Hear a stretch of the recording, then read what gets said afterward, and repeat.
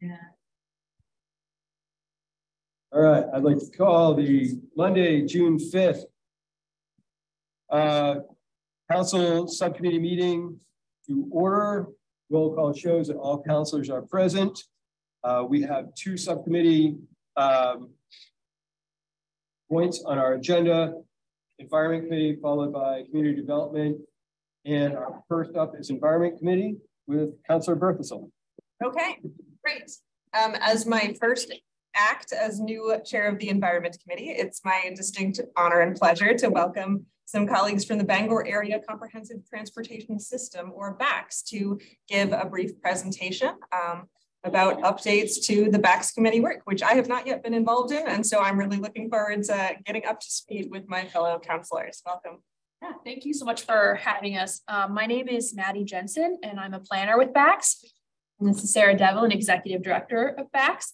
And also on Zoom, hopefully, is Sarah Sadoun, who's a um, consultant with Linnean Solutions. She's one of the consultants on the project. She should Sarah is not yet online. Yet online. Okay, great. Um, so if you have the presentation or if you've already sent it to me, I can go ahead and pop it up there. I'm just not sure if it's been shared with me already. I can start going through it off memory because I don't need visuals for the first part of it. And then hopefully she joins. Um, so if you just want to let me know when she joins, that would be, be helpful and able to stay kind of more focused if we flipped and did community development first and had the discussion about the election for her to be here, or is it? Sure, if, that's, if, yeah, that works for us. call her and find out where she is. That's great. Well, let's. Does let's, somebody need to take our seats? No, you're fine. Okay, thank you. Let's switch gears a little bit. Turn over to Councilor DeMeritt. Good evening. Um, happy to convene this meeting of the Community Development Committee to talk about um, procedure and timelines for holding our special election election to fill a council vacancy. Um, I don't have to read this, do I? Sophia, do you no, want to walk us through it? Um, that, so I provided background. Do you want me to very quickly summarize it for people who haven't had a chance to read it? Um, not here, of course, but out in sure. the public. We've all read it. So um, on um, Monday night, one of the orders of business for council will be to accept a resignation from Councillor Cheryl Robertson. Um, her term was scheduled to end March 2024.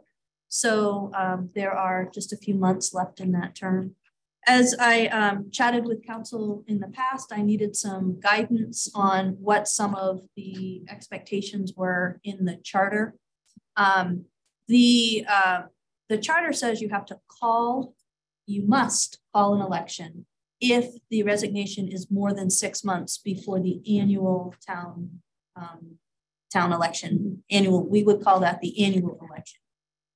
Um, if it is less than six months, then it is optional for council. Uh, so I reached out first to Maine Municipal Association to try to get some free legal advice about what calling the election was. And when we were brainstorming, we were thinking all you had to do was set a date within 60 days, like say within 60 days what the date would be. And um, they, uh, they were kind of following that type of argument. But then when they went um, and had an internal discussion about it, based on principles, the way the ordinances or the charter is written and case law, they believe that it um, has the election has to happen within 60 days. So they also said, but reach out to your town attorney because they don't provide specific legal advice. Mm -hmm. So I reached out to Roger Huber, uh, who would be our attorney for this type of matter. And Roger um, advised, went back and did all the same kind of research they did and advised that he believed we needed to, you needed to accept the resignation at the next reasonable time, which would be Monday night, mm-hmm. and that you needed to hold the election within 60 days. Um, we had a discussion at that point about um, the abbreviated nomination process that's allowed under statute, which could actually shrink that to a 14 day window. except there is some conflict with Title 30A, so we think it shrinks it to a 40-day window as opposed to a 14-day window. Did I say 40 twice? Yeah. Fourteen versus forty. First one was four, was a, I'm sorry, a 24-day period. The other one is a 40-day period. So we believe it, the minimum is 40-day period. So that's, the minimum nomination period is 10 days. The election has to happen under Title 21A. The election has to happen no less, uh, yeah, no less than 14 days after the close of nomination period. When we look at um, Title 30A, all elections are required to have a 30 day, minimum 30 day absentee balloting process. So, so it changes it to a 40 day window. So I sent you a chart that is um, probably confusing if you don't have the narrative behind it, because there are some choices that council needs to make. So the first choice is when do you want to hold the election? And normally we work backwards to establish absentee balloting dates, nomination dates, all of that. Um, but working backwards from um, August 11th, um, there is a way that we could, the, the soonest we could hold the election would be um, June 27th. Is the soon, I'm sorry, Ju- July 27th, July 27th. I was looking at the wrong. No, Is the minimum, The minimum period is July 27th. Um, and there is a way to get to, um, I think it was August 10th, um, that I outlined in the, in the background material. I do, um, want to say that while it's absolutely within, you, you know, you're on extreme, extremely solid ground to have the election before August 11th. Um, there's probably some argument if you stretched it a little bit beyond that, but not much. So um, the thing that I need to understand is kind of when, how long do you want the nomination period? That really becomes the question that everything else then flows from.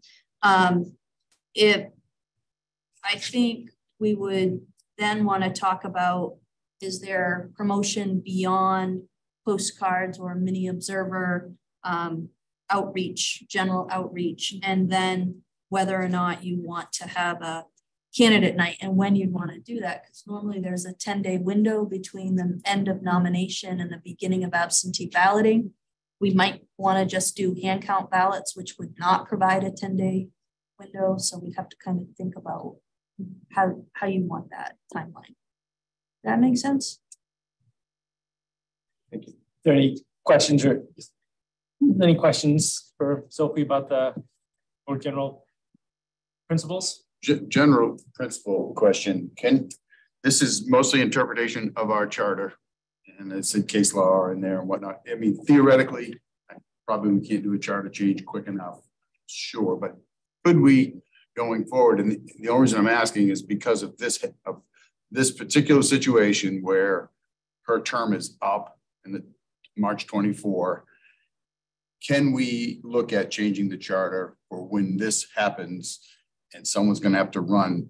I think you were gonna check on, at some point, on whether this term that they run for could be three point six or something like that. No, the term is three years. It's spoken to in the charter. The, it is, it, the, we have to only fill it to the end of her term.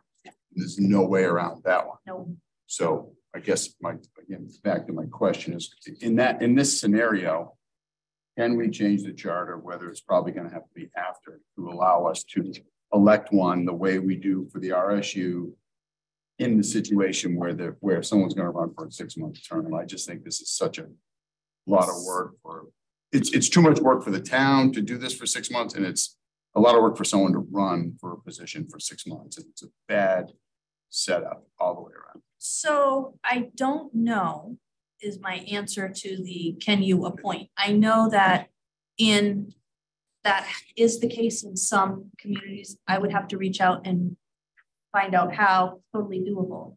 In terms of when we can change a charter, there is a very clear timeline for that. Longer than it's gonna take us. Yeah, and you can only change it by referendum vote at an annual Okay. municipal election. Right. And so we'd have to back it up and I would also have to see, I don't believe that that is a major change. So there are minor changes, major changes, amendments and revisions. Um, as long as you stay in the minor world, you don't have to impanel a charter commission. But if you step outside that, you do. Um, and I don't know whether giving council the power to appoint an, an elected official is stepping outside of the current model. So I'd have to talk with Roger about that. Yes, my, I, one thing I'd respond to is candidate night. I, I would, I would say that's, that would not be necessary again for a six-month position. I think that's a lot of extra, extra effort. Um, and it, because someone's gonna have to go through that in six months if they choose to rerun. I think it's put, I think it's putting a lot on staff to try, it's already gonna be putting a lot on staff is my feeling. So adding that to it is that much more, so that would be my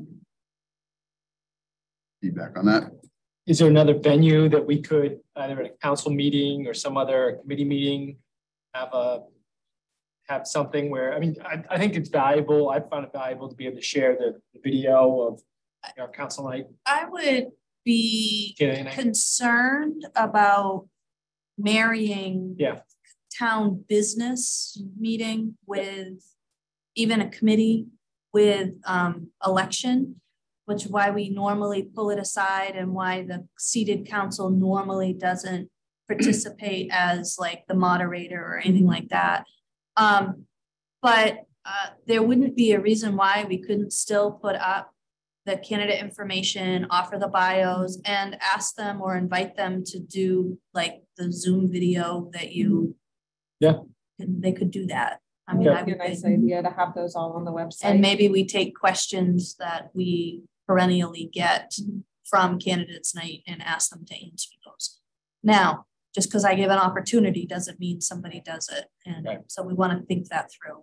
Yep. It's a lot of, it's short notice for them. It's good for the voter though, too. I It is. agree. I find it's a good resource. Sarah? Um, I just want to be sure, Sophie, I got all my dates right. So if we did the shortest timeline possible, the nomination period is only ten days and the earliest the election could be is July twenty-seventh. Yes. And if we did the longest timeline possible, the nomination period could be twenty-seven days and the election would be August tenth. Is that correct? I think that's what I put in your background. I think so too, but I just Yep. wanted to verify.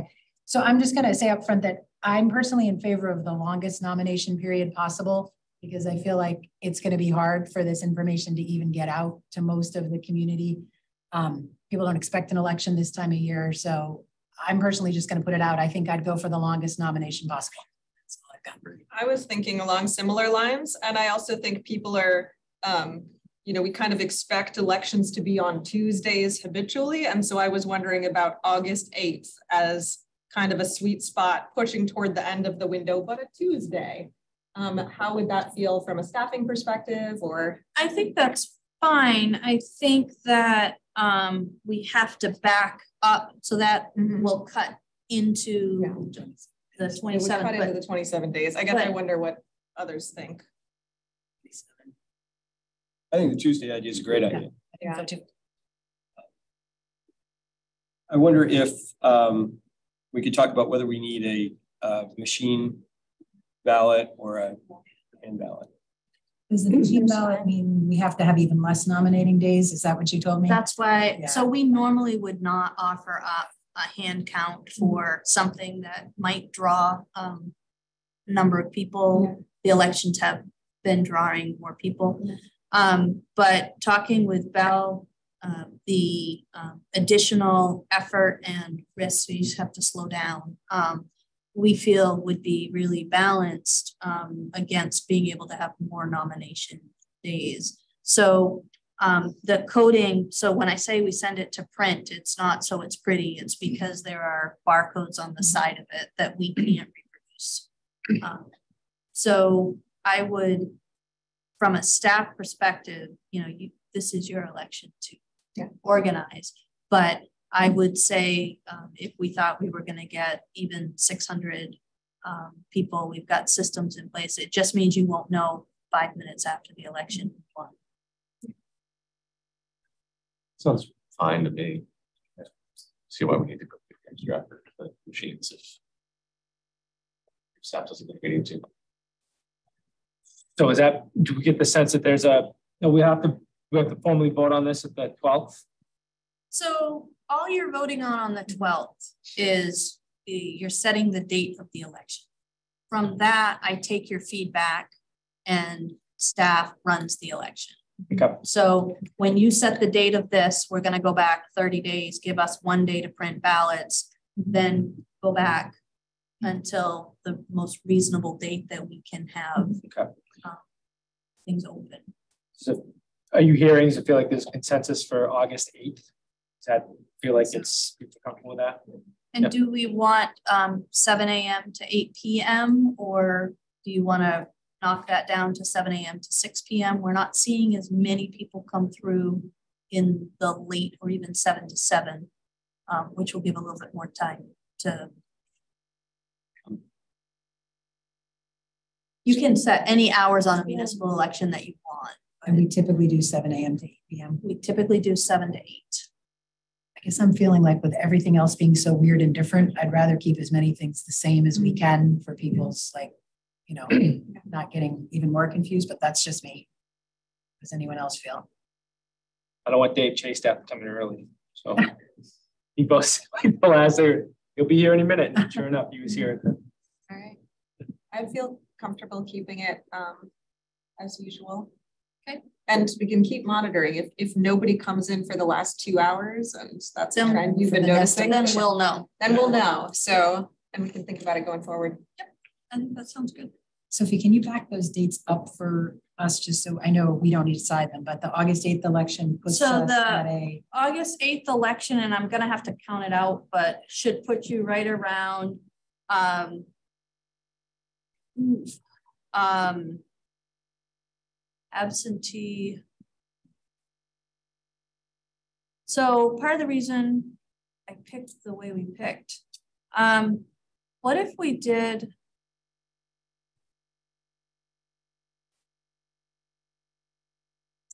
So the problem is I can't have a period end on a Friday, Saturday, or Sunday. That, like a nomination period or. Mhm. Yeah. So when you go to the eighth, that means I have to back up the start of absentee ballots to the sixth of July, which means that your absentee period, so we could write, we could close the nomination process on the fifth. And it opens on the thirteenth of June, so. Gives you about twenty-one days of nomination. So that's why Nation's July fifth, and July. They- July fifth, yeah, they absentee ballots would be available starting the sixth, because we're just gonna hand print them. Mhm. And then we will um. Have the election on the eighth. What days of the week are the fifth and the sixth of July? The fifth and the sixth of July, fifth is Wednesday, sixth is Thursday. And neither of them are holiday days this year then. Mm-hmm. Okay, got it. Thank you. And yeah, so that's. And so my plan would be, if I'm relatively sure you're not gonna change the dates, we can get the postcards ready to go, so we can drop them mm-hmm. on the thirteenth to let people know there's a nominating process and how to do that and when the election is. We would do that to all current residents, so not taxpayers, but residents, uh, not the voter list, everybody. Um, and then we would do normal outreach, social media, website, and sign. Media will pick it up because they're on our outreach list. Who knows what they'll do with it? But I think the material you put together for this meeting was very helpful and uh, extensive, so thank you for that. And does anyone else have any questions or concerns for the Community Development Committee? Thanks for putting this together so quickly. Thank you. All right, first one, thank you, Dan. Thank you. Perfect. Thanks, Sonia, we are back to BACTS. Wonderful. Um, friends from BACTS, are you are you ready to chat with us about public transit? I think so. Thanks for giving us a little Wonderful. extra time. Um, I think they were gonna have Sarah Sadun become a panelist. There she is. Um, Sarah, do you want to introduce yourself? Sarah and I already did. Sure. Hi, folks. I I have a I feel like I'm beaming in and I hope my face isn't too big or something, but it's wonderful to meet you all. I, uh, I, my name is Sarah Saidoon. I am a climate planner with Linnean. Thanks so much for making the time for us to talk with you all about uh, where we're at with the Penobscot Climate Action. Uh, Awesome. And introduce for the presentation. yep, you got it. So yeah, Penobscot Climate Action. We wanted to stop by today to give you an update on where we're at in the process for. New to the council, introduce you to the process. We're already quite a ways through, so there's a lot to update you all on. Um, next slide, please. So yeah, I will give you a very brief project background and who the partners are on this project, and then I'll pass to Sarah to give a phase one and phase two overview next steps, and then of course, questions from you all. Slide, thank you. So this all started in 2021 when the town of Orono and the city of Bangor began talking about creating some sort of climate action and adaptation process. BACTS was sort of roped in because we already have a regional process. We already have communication and uh, relationships with a lot of the towns in this region. Um, and it was kind of decided that it would be more beneficial for you all, for the town, as well as for everyone, if it were at a regional scope rather than a single municipality approaching a plan. Um, because obviously impacts are going to be felt worldwide um, and any sort of implementation actions to increase resilience would be much more impactful on a larger scale. So that's how we were kind of brought in. Um, and University of Maine was also brought in as a partner because of the expertise that they provide and all of the research that they do in the area.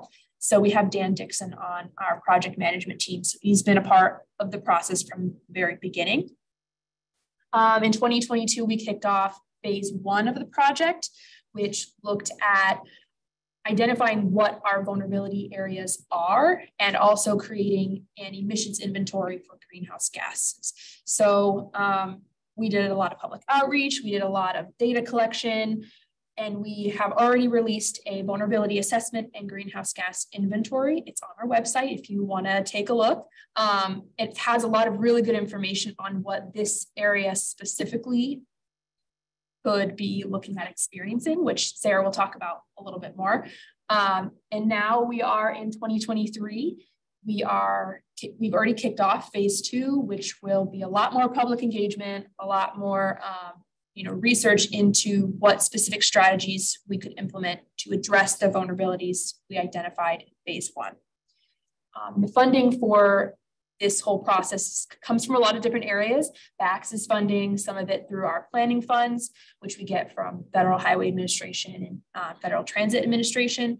And then Town of Orono and City of Bangor have also contributed through uh, the Community Action Grant, which um, is through the governor's office. I will pass it over to Sarah. Great. So Maddie already uh, kind of talked through the slide, but this is just a visual of the um, of the project team. So we have uh, BACTS, the city of Bangor, and the town of Orono. We also have uh, folks from the consultant team. I am a consultant with Linnean. Um, we also have the BSC group and uh, Which is now Introba, uh, helping us with the technical pieces of uh, the greenhouse gas emissions inventory and the climate vulnerability assessment.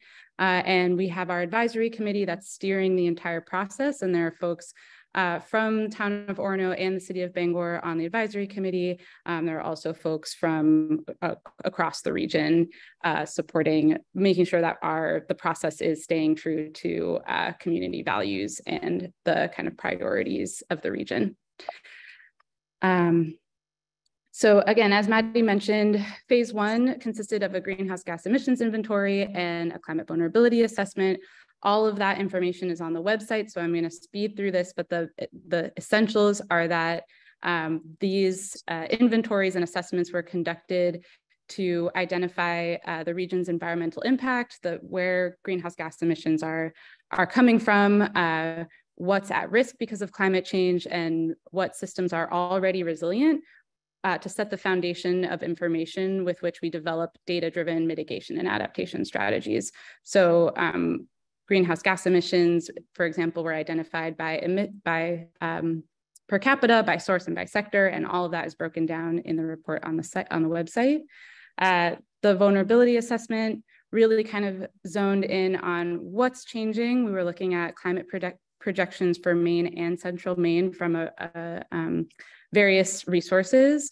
We looked at what's risk because of what's changing and the foundation that exists that can be built upon uh, as we move forward into the phase two. And so some, again, some high level kind of takeaways are that uh, what we're really looking at for this region is that temperatures are rising, there will be more frequent extreme precipitation and flooding um, and sea level rise, which will impact the Penobscot River, um, some of which is tidally influenced. And we're really looking at um, the impacts, health impacts on vulnerable populations, especially seniors, disruption of transportation and other infrastructure for essential services and small business, uh, the, the impact on the local economy. But we did also, through interviews and engagement that we've done so far, we've we found that there is a really strong foundation uh, for building resilience that already exists and that's already kind of in the works, already happening.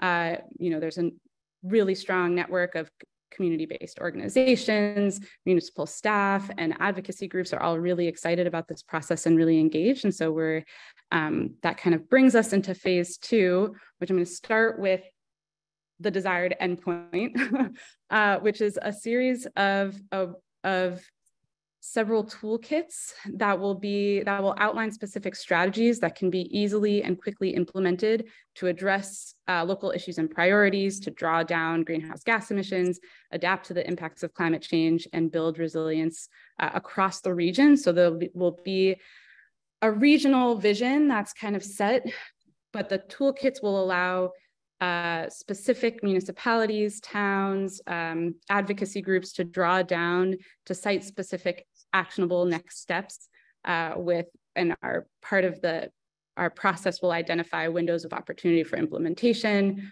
funding streams that could support implementation, um, local and regional champions that could also support implementation. Um, and we're really hope we're really our vision for the process is really to build capacity and momentum for this work to um, just really easily move forward uh, at, at the end of of phase two. And just to give you, uh, again, a, a, a, zoomed out view of what these toolkits could look like. These are just examples, um, but they're, they're, they'll be short, they'll be easy to read, there'll be plenty of graphic elements um, and different sections that are relevant to different audiences for folks to kind of uh, tailor to their own uh, unique either regulatory contexts or cultural contexts or community contexts. Uh, I'm going to zoom through the, the schedule. I want to make sure that I'm respecting everyone's time. So uh, the we've already kind of kicked off phase two uh, with with some engagement, some relationship and network building. We've been engaged with the advisory committee. Uh, we have spent quite a bit of time uh, setting priorities and principles that will drive the uh, identification of solutions and strategies that will be included in the implementation toolkit. So uh, we are moving, now we're in June, we're in the summer, we're moving into the solution co-creation phase.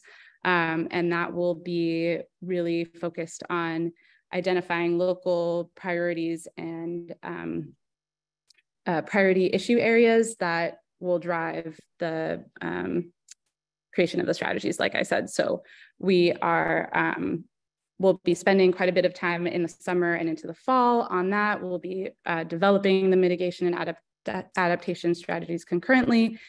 Um, and at the end of the process, you know, late 2023, early 2024, uh, we'll be launching the toolkits with a series of implementation workshops. So there's opportunities for folks to really um, have these documents and have them be live and not just be uh, plan, a, a, long plan that kind of sits on a shelf. Uh, and then the, this um, project period will wrap in March of 2024. Uh, and just to, to get a little uh, a little more in depth on what each of these stages includes. Uh, we've been developing surveys and pop-ups uh, to work with folks on kind of a lighter touch level. Uh, and so each stage includes one survey, a series of pop-ups, and we'll include working group meetings um, where we'll be kind of culling all of that uh, feedback from community members through those surveys and through the pop-ups and uh, ensuring that that feedback is integrated into decisions and design and the, of the strategies themselves. Um, and so we are, we've wrapped the first survey, um, we wrapped kind of our first series of pop-ups. We're moving into, uh, we've developed a survey related to kind of drill down into what strategies, where folks are, um, where fo how folks would like to prioritize strategies uh, moving forward. We are sent, we've sent out uh, working group invitations. I should mention that the working group themes are centered around housing, transportation, um, environment and quality of life, uh, local livelihoods and local economy and health. Um, and so we're finding strategies that intersect uh, between climate and these priority areas that have emerged from the first stage of engagement um, and from our phase one uh, assessments. Um, and so we've been reaching out to local leaders in those um, in those area issue areas to be a part of the working groups to really help us get get clear on what implementation of these strategies would look like in a realistic way for for um, each town's uh, regulatory and cultural context. Um, and we're moving into, again, the mitigation and adaptation, adaptation strategy development phase. Um, so I'm going to pause there for questions. I'm happy to answer. I know Maddie and Sarah are also happy to answer any questions, but I wanted to make sure it was brief as possible. So thank you all for your time. I would just like to mention that um, we'd like to thank Orono staff because they've been a really critical part of this process and they've been really great to work with. But the advisory committee as well has a lot of representation from Orono outside of staff. So that's been really great to have that perspective as well on the advisory committee. That's really wonderful to hear. And that is a good segue. That kind of was my question is which um, staff members and also you mentioned Dan Dixon, but I'm curious other community members are part of the, um, the working group so far. Mm-hmm. Yeah, so honestly, a lot of residents of Orono have been really involved. Um, I've met various ones through like other conferences and other work that I've done, and they've mentioned an interest in this plan specifically. And so we've kind of plugged them into their interest area. So, like Sarah said, one of them was really interested in health because that's what they do for their work, and another. I, uh, we have some really a really interesting mix of working group members. Some work in the area that they're in, and others like we have a physical therapist who's really interested in um, I think it was the transportation working group. So it's just kind of interesting to get all of those different perspectives um, people who are professionals in that and kind of think that way, but also those who just have lived experiences in those areas. So from a staff perspective, we have plugged in, um, Megan Hess is probably our, our biggest yeah, she wrote the grant. Yep. Yes. Allows pay for it. Kind of an assumption, but yeah. yeah. yeah. So um, that's our environmental services coordinator. Um, Bell, our assistant manager. I have been on the edges, mostly outside of meetings, providing guidance. Um, Kyle Drexler, our planner. I don't know. Yeah, Rob has helped. Well, Cheryl is also um, on our advisory committee. She's been on the advisory committee. And Dan Dixon and Maureen Tyne, and then a bunch of other community members that have just come in when they saw the advertisement. So there's been, we've been pushing surveys, we've been pushing the ability to get involved. I think one of the things, the reasons that we're here is for council to help a little bit with that, to promote the effort that has gone on with that. I think Megan has links on the website to this effort. So if you drive people to the environmental services page, it will get them what they need. Does that make this? Yes, and this effort has its own dedicated website as well that has links on our website, on, on the environmental services page. So it can be, it's a resource, all things Penobscot climate action. Yeah, it's easy to remember. It's just penobscotclimateaction.org. That's the whole, that's the whole name of the website. And that has the the previous reports from phase one. It also has a data viewer where you can go in and zoom in and um, kind of toggle on different vulnerable features like flooding or heat island effects. And you can look at your house or you know your route to work or things like that um, to kind of see what you will personally you know, might experience. So is the is the survey that's on our website the most recent iteration? It's not like the leftover link from the phase one survey. This is the current phase two survey. So the most recent survey we had close actually just at the end of May. And so this next one just opened beginning of June. I'm not sure if what's on your website is the second survey or whether it's the first, but. So we'll double check that and I'm sure by tomorrow it will be the, if it's not already the first, it was. Yeah, but I've also just given um, Bell uh, printout sheets of the QR code. So they're gonna be posted at the town office as well. I can make sure that everyone has that the link to the most recent survey, uh, Maddie, if we can coordinate on that. Yeah. Great. And I saw looking at your timeline, you've got this period of co-creation coming up. I'm curious if um, if there is is this survey the ask for what to direct people to in that regard? Are there other things that you're looking to draw drive people toward? Just wanting to make sure that we're spreading the word about all the opportunities for involvement. Yeah, so the survey would be a really great easy way for people to get plugged in just because it's relatively short and it's not doesn't really take any uh, a lot of time or effort. Um, but also the pop-up events, we're trying to go to as many, there's a lot of events going on in the summer, obviously. And so, I mean, just this weekend, Sarah and I were at the Brewer Riverwalk on Saturday. It was, it was a little cold. we, we lost a, a, a tent um, with the wind, but I mean, people actually engage really, really well at the pop-up events. So even just a couple hours, we can get a lot of people and have really good conversations. Um, so yeah, if, if, you have any events in the area, either let us know or tell people to see, look for us there because we're probably going to be there. I wonder if the Orono Farmers Market on some Saturday would be a pretty good pop up. Mm -hmm. I've seen people tabling there get quite a bit of traction, and yes, I'm in contact with the good. person who's who's running that. I'll think about it, and others can too if you think of other opportunities. Yeah. Well, I'll add that we are um, there's an, an events tab on the penobscotclimateaction.org site where we're listing all of the events that we'll be tabling at or will be participating in as a pop-up. So if folks are asking you and they're curious like where they can engage with us at events, you can direct them to that uh, tab on our website as well.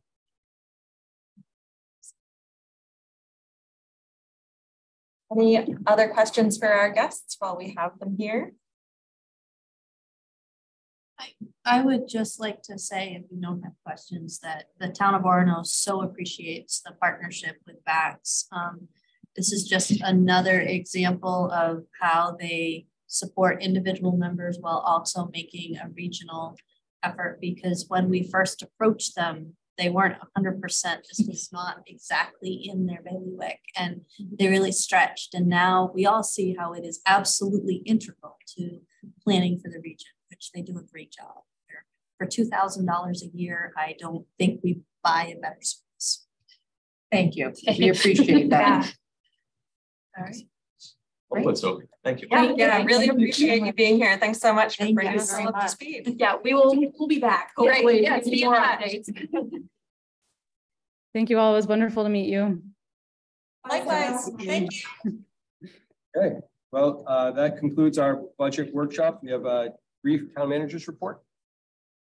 I've been working on the budget, a lot of work on the budget. Mm. Um, The, um, the flags are up on the bridge. Eventually, um, we will get the, um, crosswalk painted in rainbow. I think the goal at this point is to get it done before the end of the month.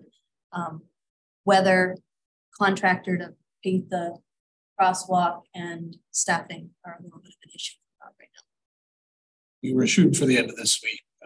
I was giving you. The rain is gonna mess us up. Promise, under promise, over deliver. That's the way it's supposed to work. It's stop raining until Yeah, I don't know if it's ever gonna stop. Uh, Before we transition out of our subcommittees meeting into our budget workshop, is there any public comment regarding our committee work?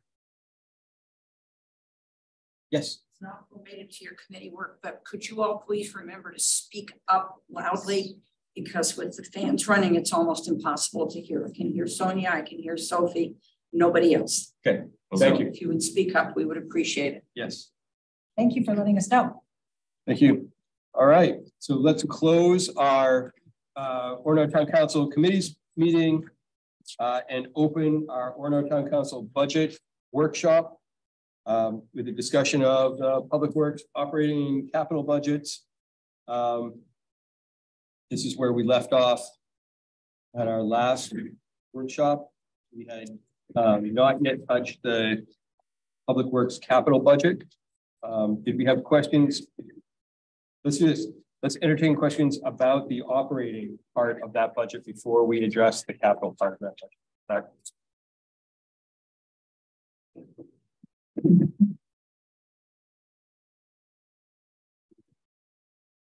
Switch my file. real quick.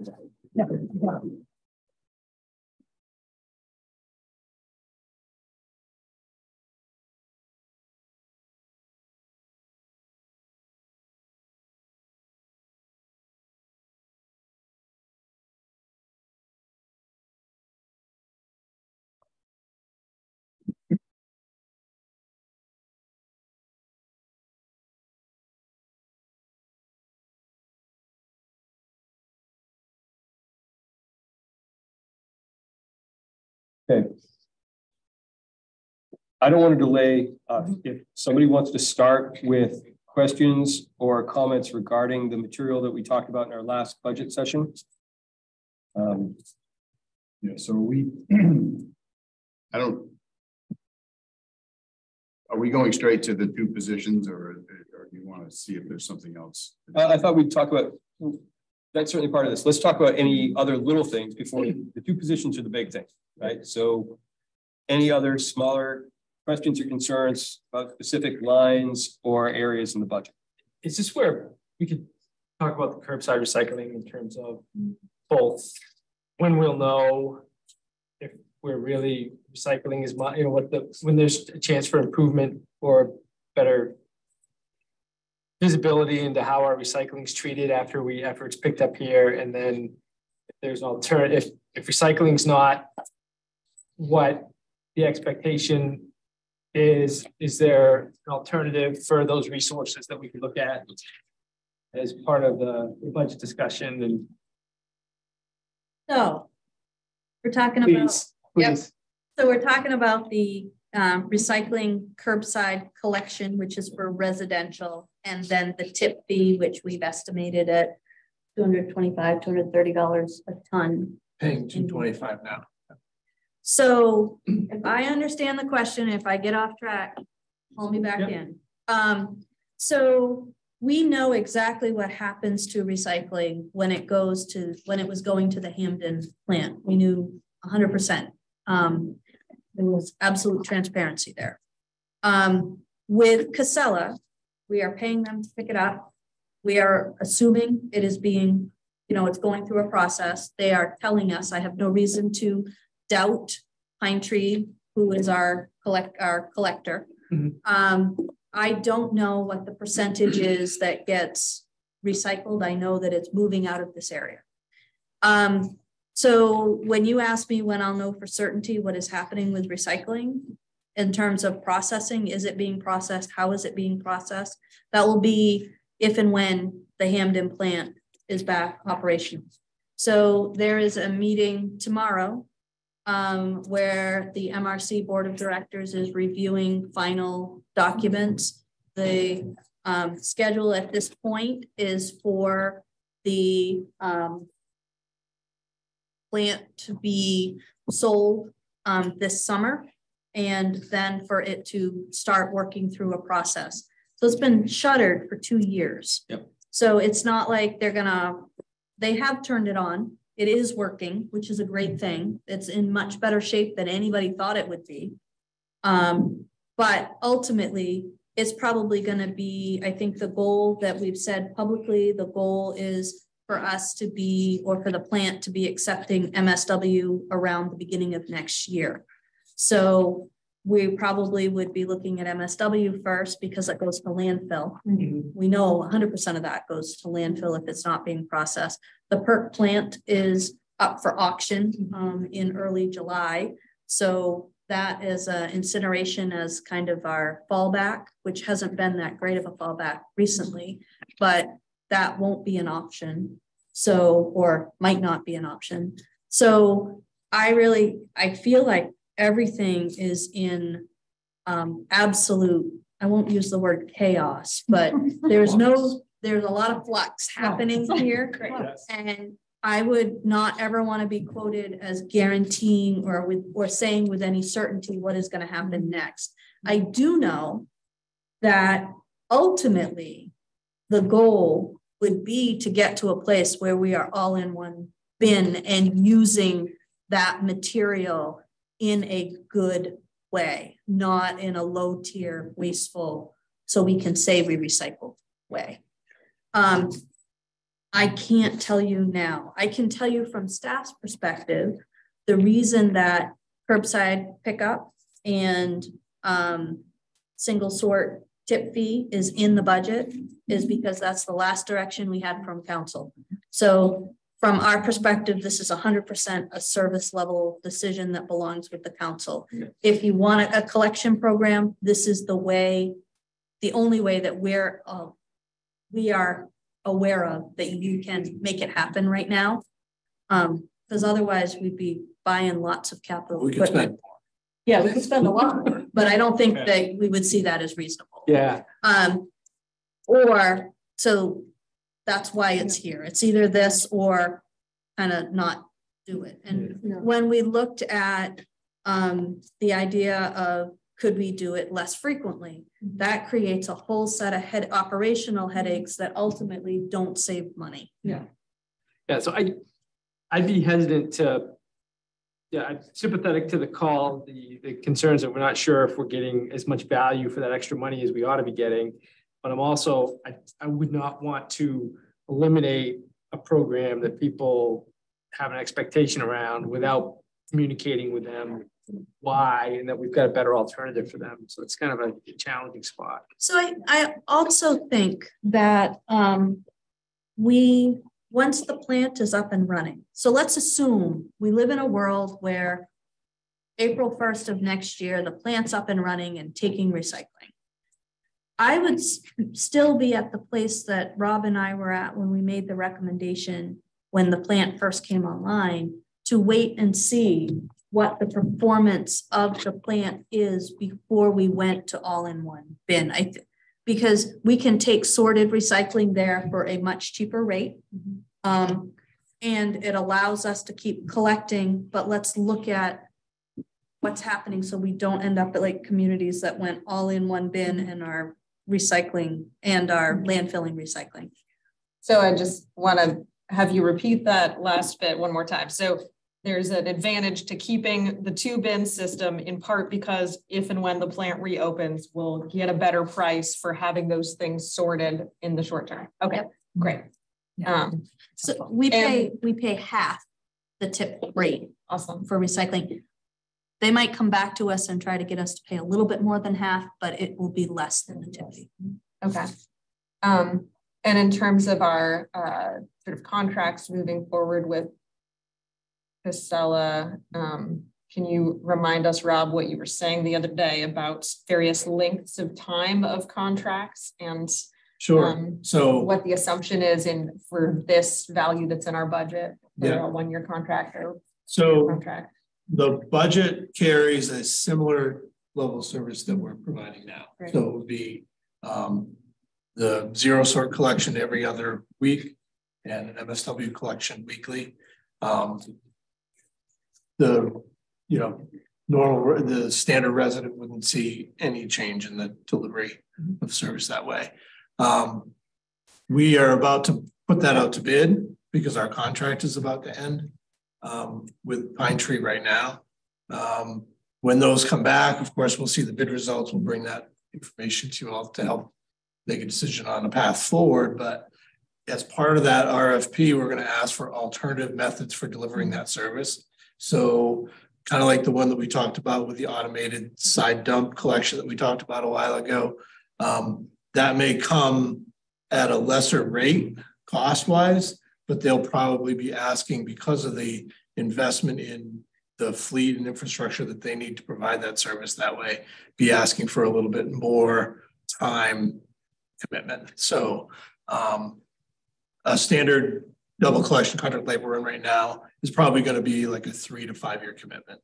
If we were to um, move forward with something that includes automated collection, those kinds of things, they're probably going to be asking for five to 10 just to make sure that they don't put all that uh, investment out there and then we don't continue the service with them. So, um, and there, there may be some other uh, firms, other methods that get proposed that kind of like the base bid and then give me some other ideas kind of thing. Um, and so when those results come back, we'll come and share them with you.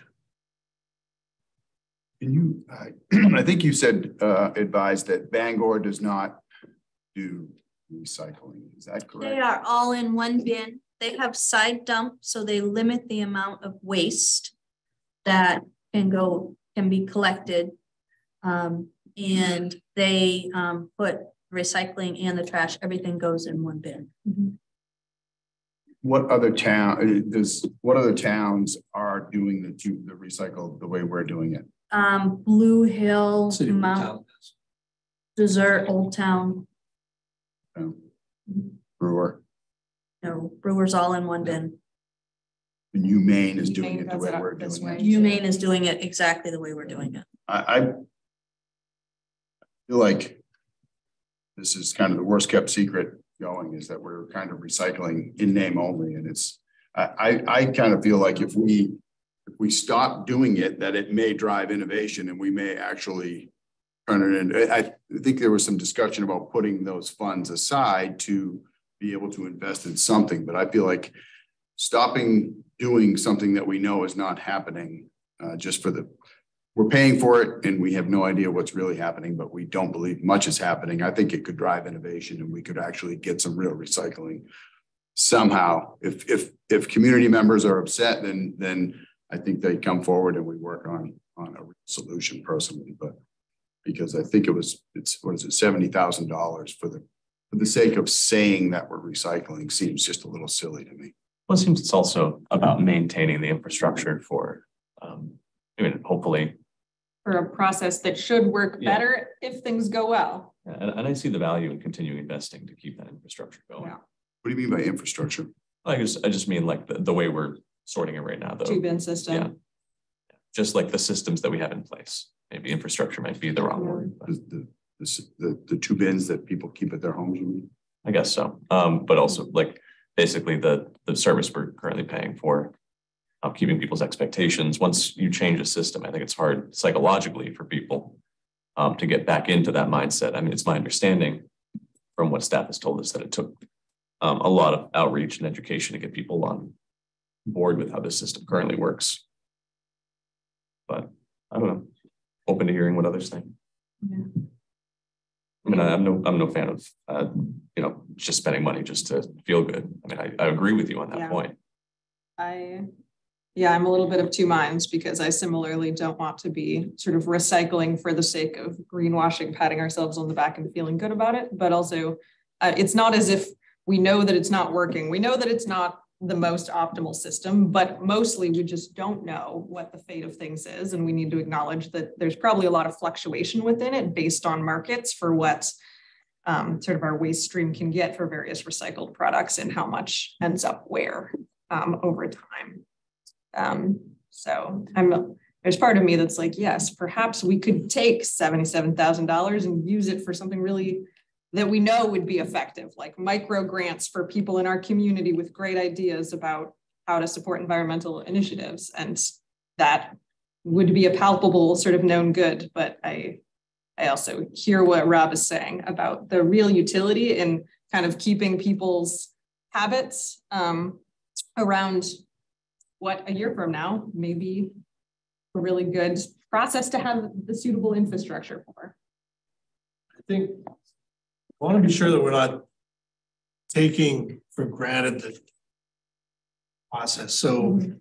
zero sort recycling, Casella and Pine Tree provide that in good faith. Yeah. This is not, you know, I, I feel like um, I want to take away from the credibility of the, yeah. of the contractor that we're using. The process of zero sort recycling in its nature creates contamination. Um, and there's always residuals, no matter how try how, how hard you try, keep those materials as clean as possible. So I just want to make sure it's the process, it's not the company mm -hmm. that we're dealing with here. Yeah. Agreed. Thanks, so, but if we ask, I mean, have we asked, and if we ask, what is, I mean, they, they bring in X ton and Y ton goes to a landfill. That seems like that's a fair question to ask. If it's if it's proprietary information that they can't share, I guess that's one thing. But it, that does seem like a fair question that we could ask to know. I mean, that that's not our specific, obviously, but if they're a plant, they're measuring what's coming in, they're measuring what's coming out and going to going to landfill. If that's a again, if it's 50%, then probably we feel okay about it. If it's 25%, maybe we don't feel okay. I think that that would be useful information, in my opinion, to make an informed decision if it if it's attainable. So we we can't get that information in time for this budget, though. Mm -hmm. right? So well, I don't know. Is that a is it a phone is it a phone call? We we get the budget and we're not they're not are we finalizing everything tonight or Thursday? I mean, is it a phone call? That tomorrow. I, the, the number that comes to mind is about a fifth to a quarter of it is is wasted fifth. So so 20, 25 20, 25 percent is wasted. I mean, if I think that's that I would support that. That's easy. I think if that is what they say, if that's the answer, that then I take it back. I didn't mean it. Go. I agree. That seems like yeah. Keep it out. Both oh. Yeah. Although I do want to see this. us be thinking creatively investing in other ways of yeah. you know, doing environmental work. But of course, we are doing lots of them. We have a great environmental services coordinator who's had some nice people here earlier. It's clearly doing good work. Yeah. Hey, Rob, can you also just clarify when we switch back to the other plant, is it a different process then entirely so yeah. that this amount of wastage would be different? I mean, you were saying it's mostly a process issue, not a company. For sure. Yeah. yeah.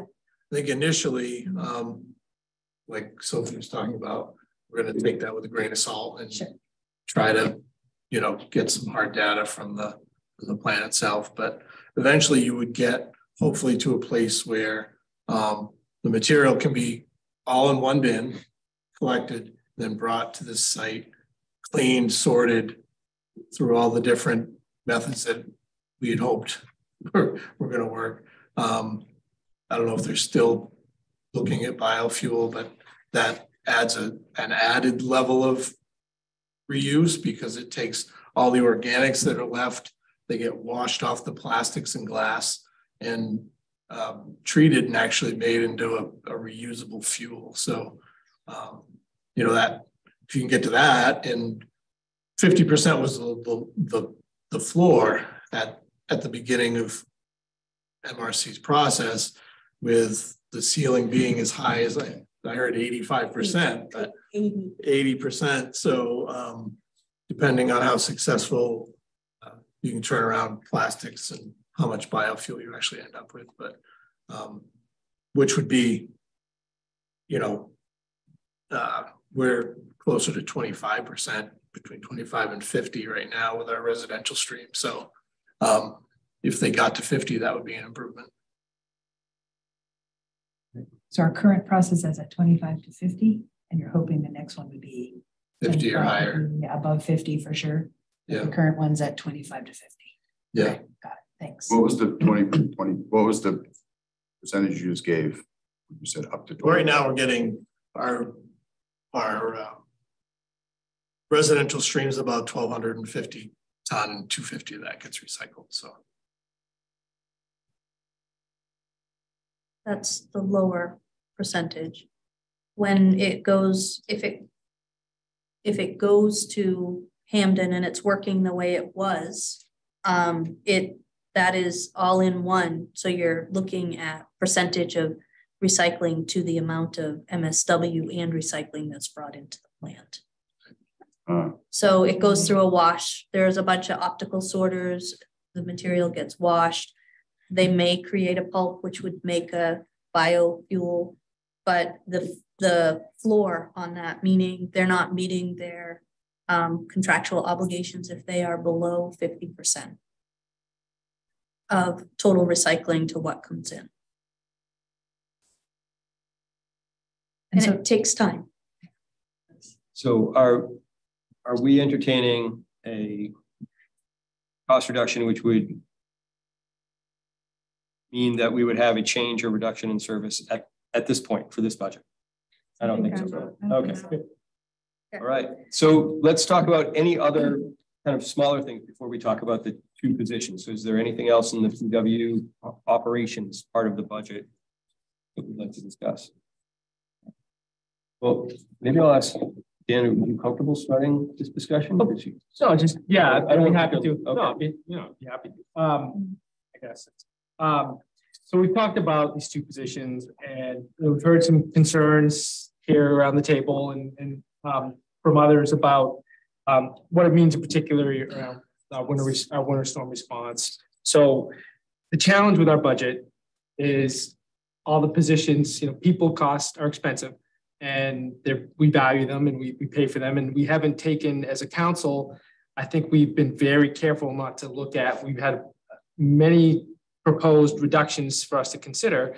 And many of them had things to do that impacted the quality of life for our work, you know, the, the benefits and the, and the support we provide to our workforce.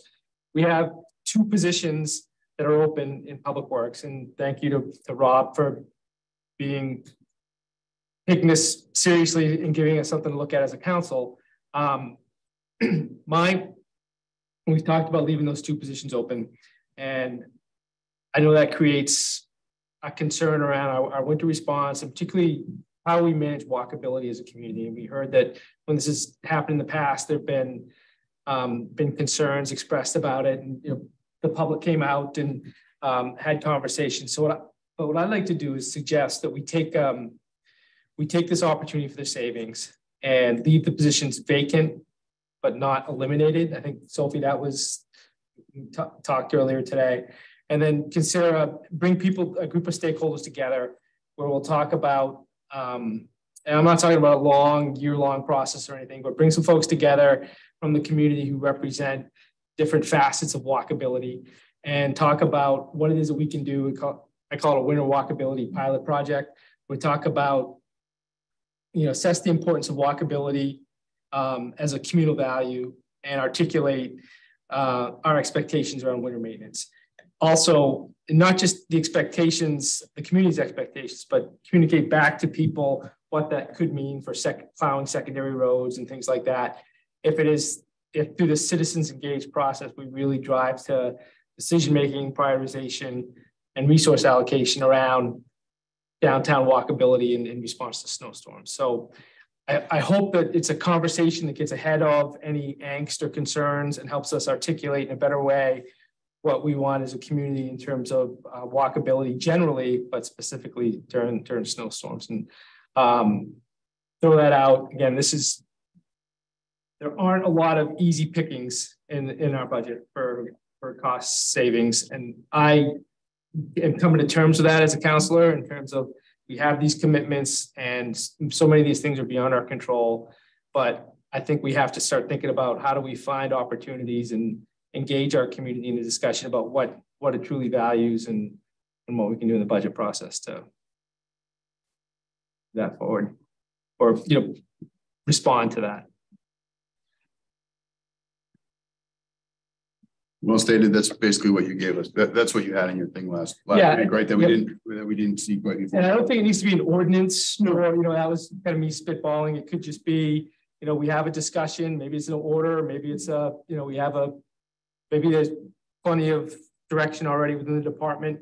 Uh, you know, we don't have to cost, put this in the constitution or anything like that, but just, you know, sort of a, a vision that, that we have that we can agree to generally about what our, what our sense, what our priorities are. Yeah, I think, I think that is, was well said.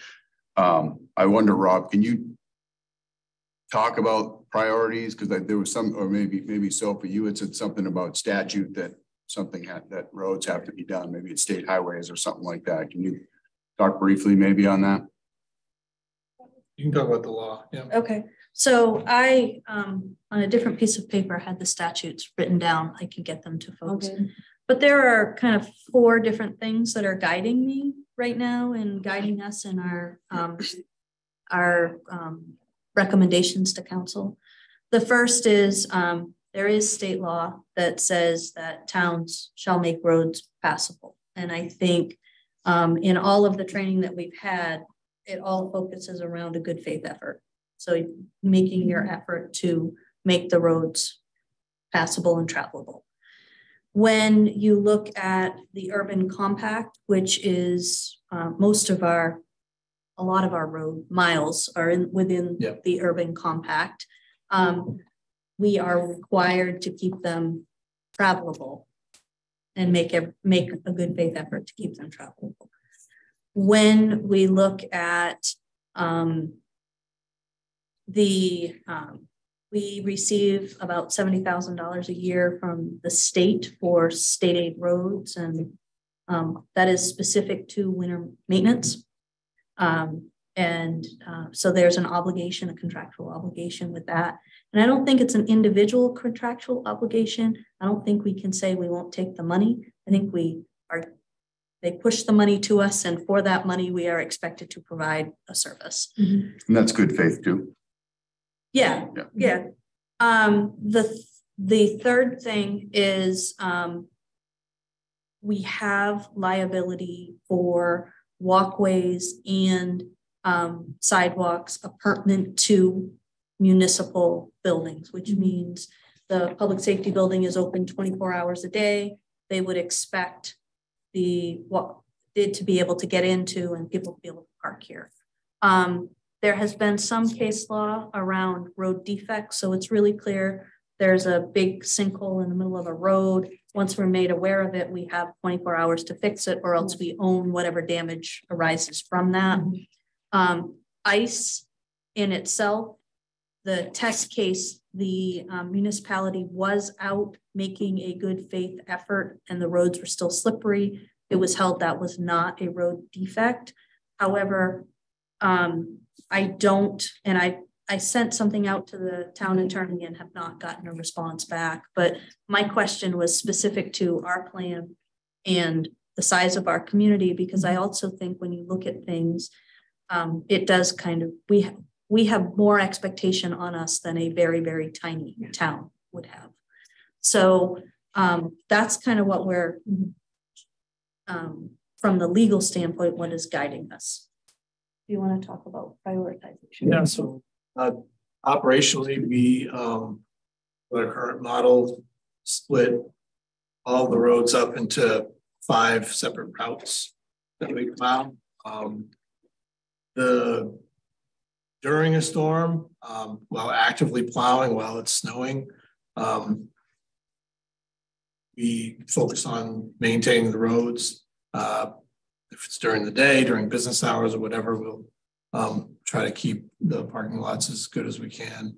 Um, but while we're actively plowing, it's difficult to maintain the sidewalks because we're plowing snow onto the sidewalks constantly. So um, the roads come first. As the storm starts to dwin- dwindle down, um, and again, depending on timing and all of these other issues, what staff's available, what staff has been um, because we have our sixteen hours on, eight hours off. So depending on where the end of the storm falls, um, we may not have all of our staff available um, while they're in that eight hour time in between shifts.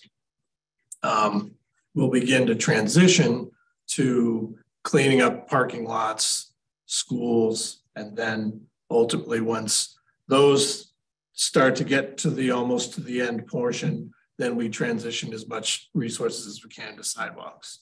Um, we have three primary uh, sidewalk routes. The first one starts right here downtown. Um, the uh, generally the first sidewalk that we'll do is the main street piece down Ferry Hill across the bridge, turns around Webster, goes up to College Avenue and comes back across the bridge. So we know that that's an important place to get cleared up because there aren't a lot of options for people to walk over there. Um, and then that person will come up through downtown and go through the school area. So if we only have one machine out, one person available, that's the first route that happens. The other one is a, another Main Street route that goes up and takes care of College Avenue and Park Street. And then the third run is um, starting at Bennoch Road and going out toward um, Stillwater Avenue. That's when we, that's the end of the storm. Um, then we'll transition to hauling snow out of the parking lots and stuff.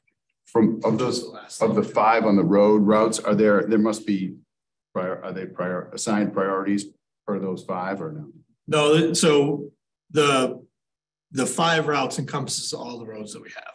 But do you but do you there's no prioritizing any of across those like if well so we've got um the main so the the four big trucks have got sort of some of the main run sort of thing. So um, for example, the truck that plows Park Street also has Colburn Drive.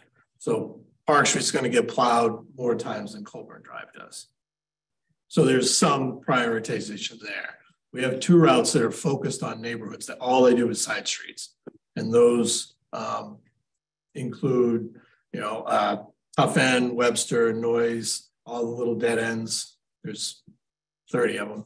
So, And even with this setup, those side streets are going to get hit less often in the same storm as the main runs because they're so Right. big, it takes time. their routes are a little bit, and there's a lot more turns and twists and things like that. So People to be careful of. Yeah. And you said it, it would not make sense to, and correct me if I'm not remembering this right, but you said it would not make sense to only fund one position um, because it takes two people to be running these. Yeah, so we're set up. So each of those five, five runs is assigned a truck and two people are assigned to that truck. Yeah. So they can work opposite each other.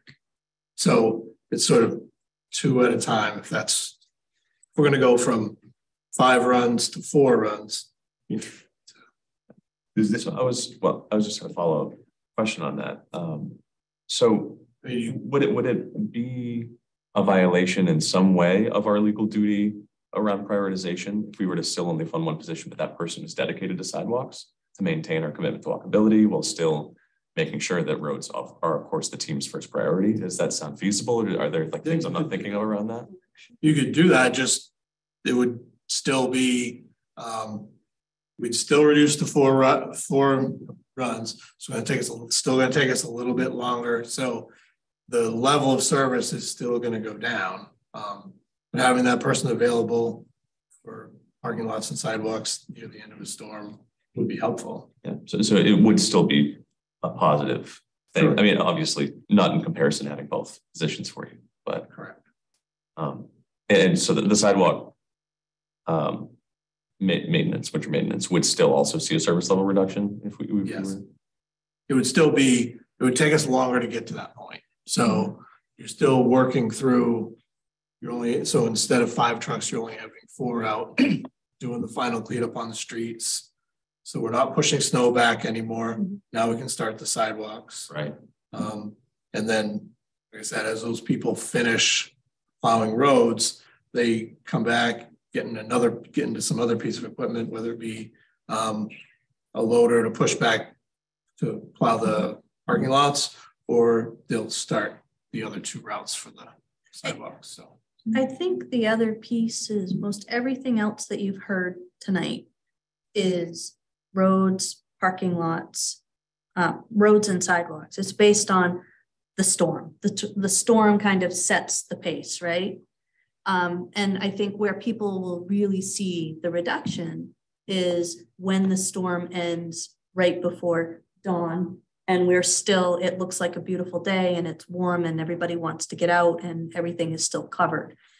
Um, the piece that I am almost more concerned about in terms of service level impact is with the um, parking lots that are more time driven as opposed to storm driven. Can you So speak to that? both park, both the school parking lots, the RSU parking lots and the town parking lots have timing associated with them. So um, the municipal lots, you're not allowed to park between two and six to allow for winter maintenance. So if we can't get there in that two to six window, all we can kind of do, and they do start filling up pretty quickly.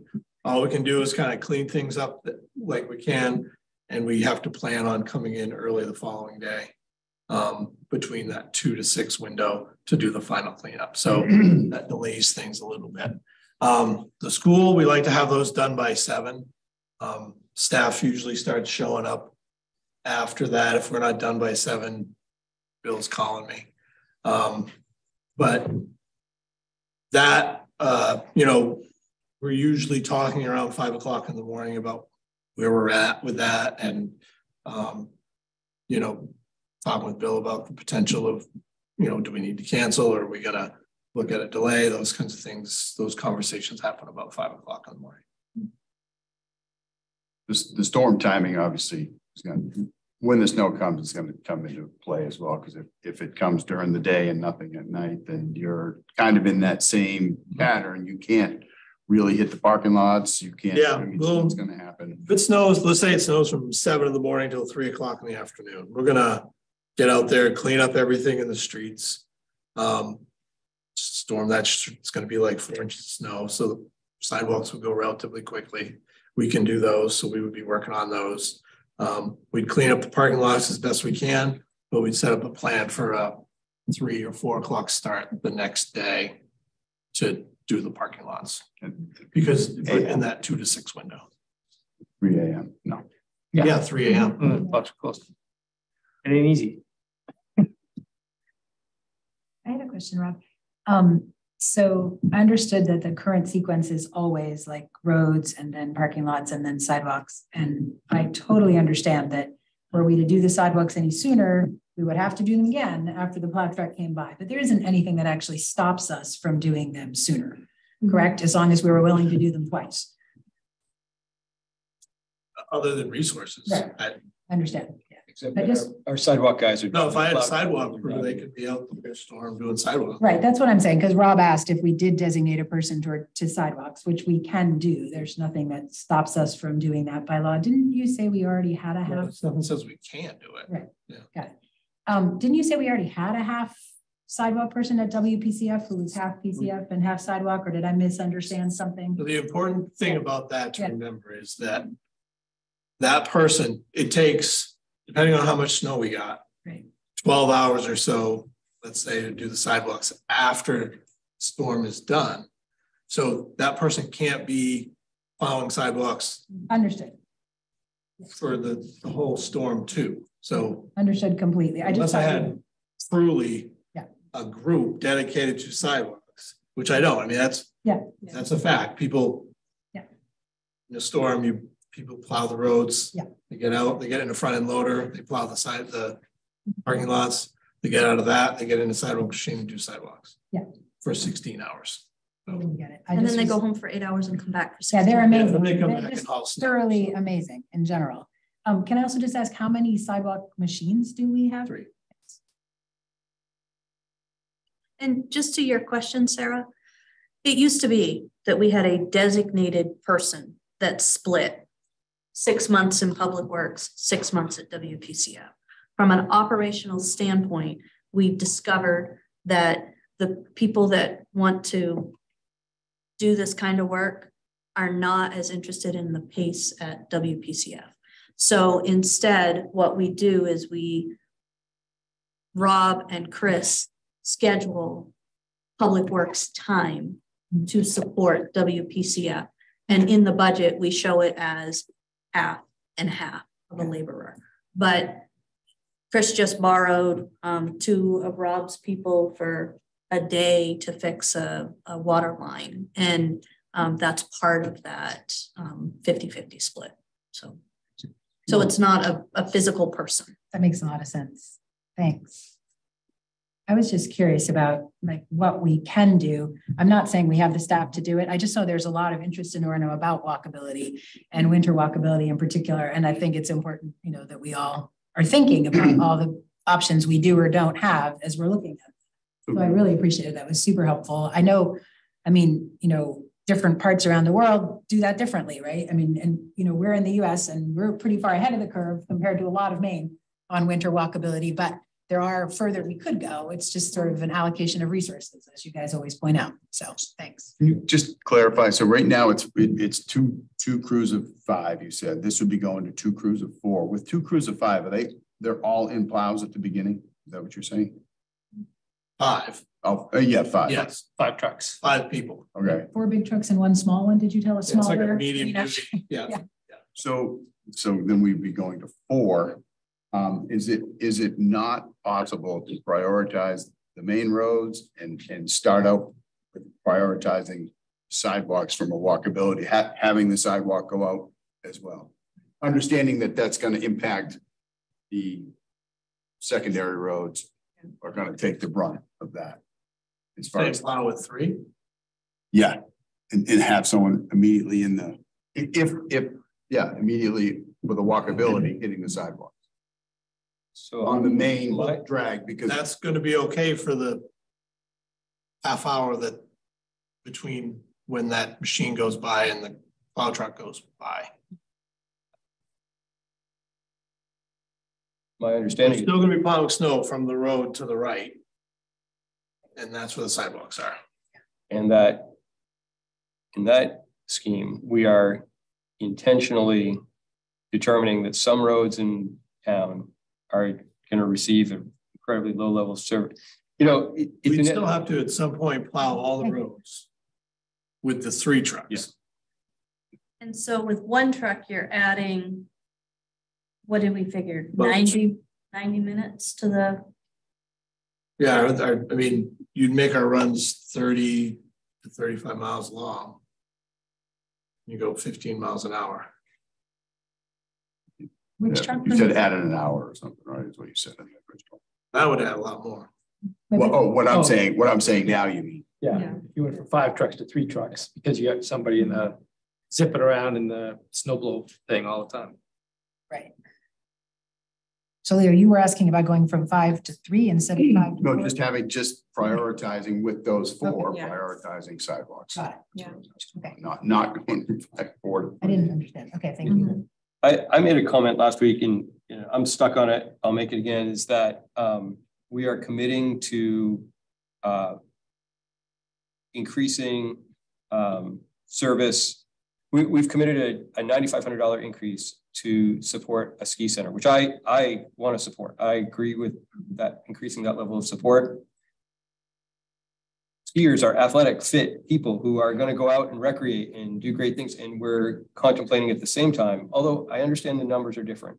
The, the image and the reality is that we're contemplating lowering access to our public ways to some people who are very vulnerable and need those ways cleaned off at the same time that we're letting people ski. And that to me just doesn't sit right. So I know that this is a much bigger cost savings compared to a very small budget increase for, for skiing, but that kind of equity piece just doesn't, I have a hard time with that. Um, and I also think that there has been a perception in town, or there was a perception in town in past, and I haven't heard this for many years, and I'm glad I haven't heard it. That some people, when I first moved to town, said, "Oh, yeah, that's the street that always gets done. They're the street that always gets, you know, their street plowed, their sidewalk plowed, whatever, and my street never gets touched."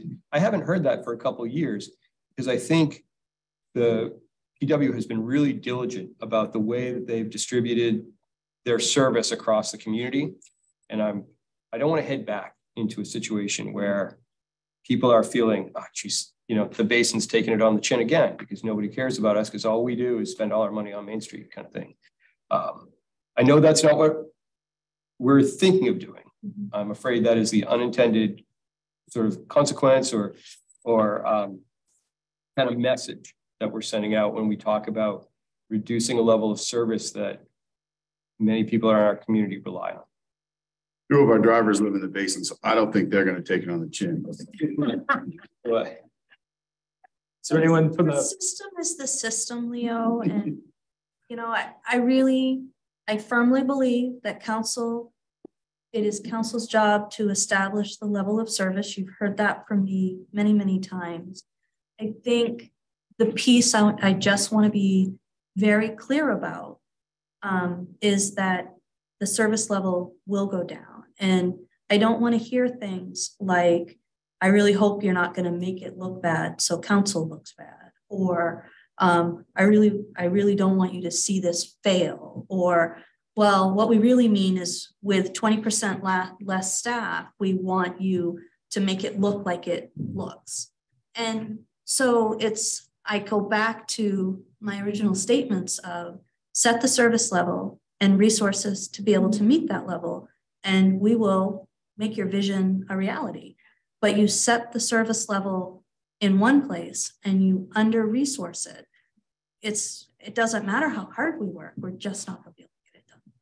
So this would be going back to the level of staff we had up until two thousand nineteen, though, correct? Yeah, and in 2019, we went to council with was- a shared position, Up, up until two thousand nineteen, there were eight, there were eight on those. seventeen. oh, it was 17 that we They came in two different Yep. iterations. I'm quite sure. I didn't research this, but um, when we first uh, would have been two thousand sixteen, um, this was the first year that we did the uh, shift limits. So that's when we implemented the sixteen max eight. We moved over to the public works grad in fifteen. Okay. We you guys need us here for this? or- one winner. And then um, we, we originally set it up with four on each side. Um, Then we went to council, I believe, in seventeen or eighteen to add the other two positions to that. There was one year, I thought that was nineteen, when council chose to not fund the shared position. And Yes. that was when we saw that impacted the level of service with sidewalks. Well, we, we were given the, the staffing chart that, that shows two thousand nineteen is when, is when that went from But- eight to ten. Um, and, and I, I guess my, my comment is, having lived here since before that, I've always felt like we have, had- you guys have done a phenomenal job. Better, I mean, more phenomenal with more staff, which makes sense. Uh, but I think Orono is usually compared to our neighbors, since I've lived here, it's always felt like a really good job. So the two positions, Rob and I came to council at the time. And what drove that was not, quite frankly, level of service to the community.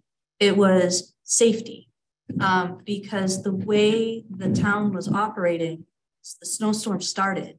Everybody got in a truck or a piece of Everybody came equipment and worked until the snowstorm was over and cleanup was done, which could be 24 hours.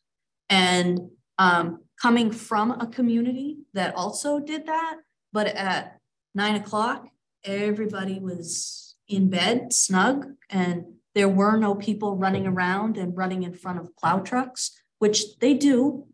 Um, and a lot of people out and about, we became really concerned. The narrative in the industry has begun to shift to say that that is negligent, that putting somebody in a, in a sixty thousand pound truck and freighting it with um, sand and salt and just saying, go forth until you're done, drink lots of coffee, um, is not safe for the community. So when we came to council, what we talked about was how we could safely split the shifts.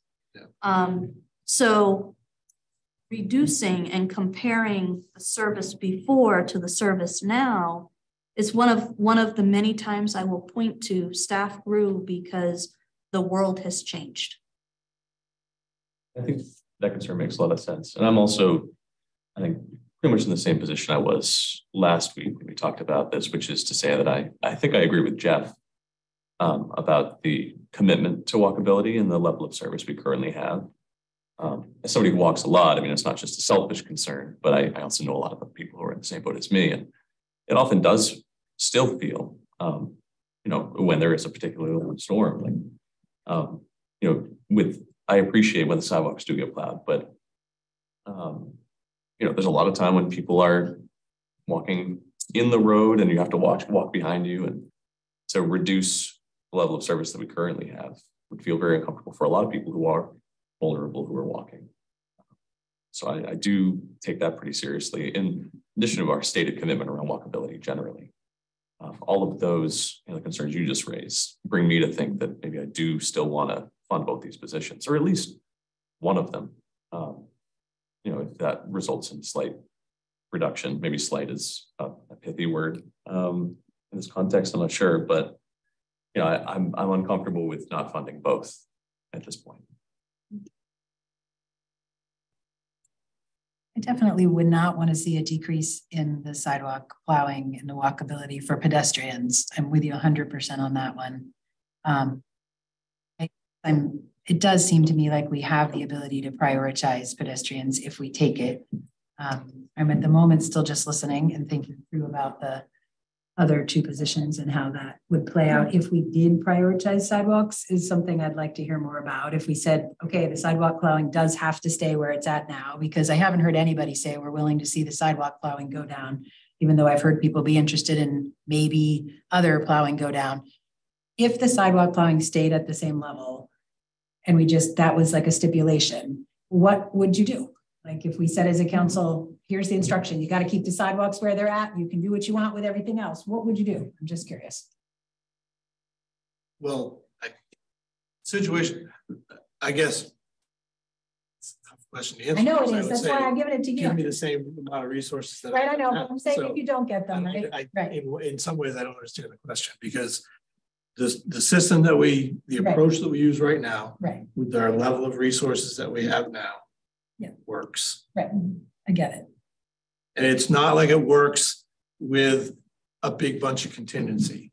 It works like plowing sidewalks at six forty-five, you know, uh, crosswalks and parking lots at the school at six forty-five to have them ready at seven. Yeah. That's, it works. So any reduction in, so if you, if we said um, that we would want to keep the same number of, res- same amount of resources dedicated to sidewalks, Mhm. then we'd have to look at, we would need at least that one person. Mhm. So like we talked about a little earlier, you would still reduce um, the street runs to four. Keep the same model by keeping that middle person dedicated to sidewalks. Um, and we'd get through it. The challenge is there's still impact there. So you're still, by allocating the resources to that one person dedicated to sidewalks, you're not necessarily maintaining the same level of service that we have now because the time and effort put into um, the streets and parking lots now just takes just that much longer. So it's still going to delay our ability to respond as we do in the current model. So there's still going to be an impact there. What what level of impact that is kind of all depends. I mean, if we start sidewalks at 2 a.m. or 4 a.m., if you live on Main Street, you probably don't know notice that. Um, but um, you know, that's the it's going to be longer getting to the neighborhoods, um, those sorts of things, fewer resources. So when we shift, so everything sort of overlaps too. It has to to make it work. Um, so while we're finishing up roads, we're sneaking over and starting parking lots. While the parking lots are starting to get finished, we're sneaking into the into the, you know, it's not just sort of like a, okay, these are done, let's go back to the shop and change to, to sidewalks. You know, that's not how it works. It's a constant transition, really. And then that flows right into hauling snow. Even, even that, I mean, so now with fewer resources for that, even those things would, people would notice the big pile by the fence on Pine Street, probably gonna stay there an extra day. I don't know if that's important to council or not, but there's a lot of parking stalls down there. So is it, is it So- accurate that the sidewalk plowing, when you're saying the routes would take about an hour longer to do, is it also accurate to say the sidewalk plowing would also finish about an hour later than it does now? Yeah, but it's gonna be. It depends, if I can, if we can. If the, if the end of the storm lands in a place where we have overlap, so I have. The other four people to dedicate to the other parts of it, then. Probably things are gonna happen in a similar. Delay, if that's. Four o'clock in the afternoon and the crew just finished up their sixteen hour shift and all we have is the two people that to add to that other, then it's going to take longer. So And when we say it's gonna take longer, in order, it means that that sixteen hour cycle takes longer. And it means we're gonna see higher overtime because there's still the same amount of hours of effort that will go into responding. So that's, and I can't tell you how much. We'd have to, Yeah, have to see. Right? I- be That would be really hard. those comeback shifts, so we, we didn't get to the Pat's parking lot by six AM.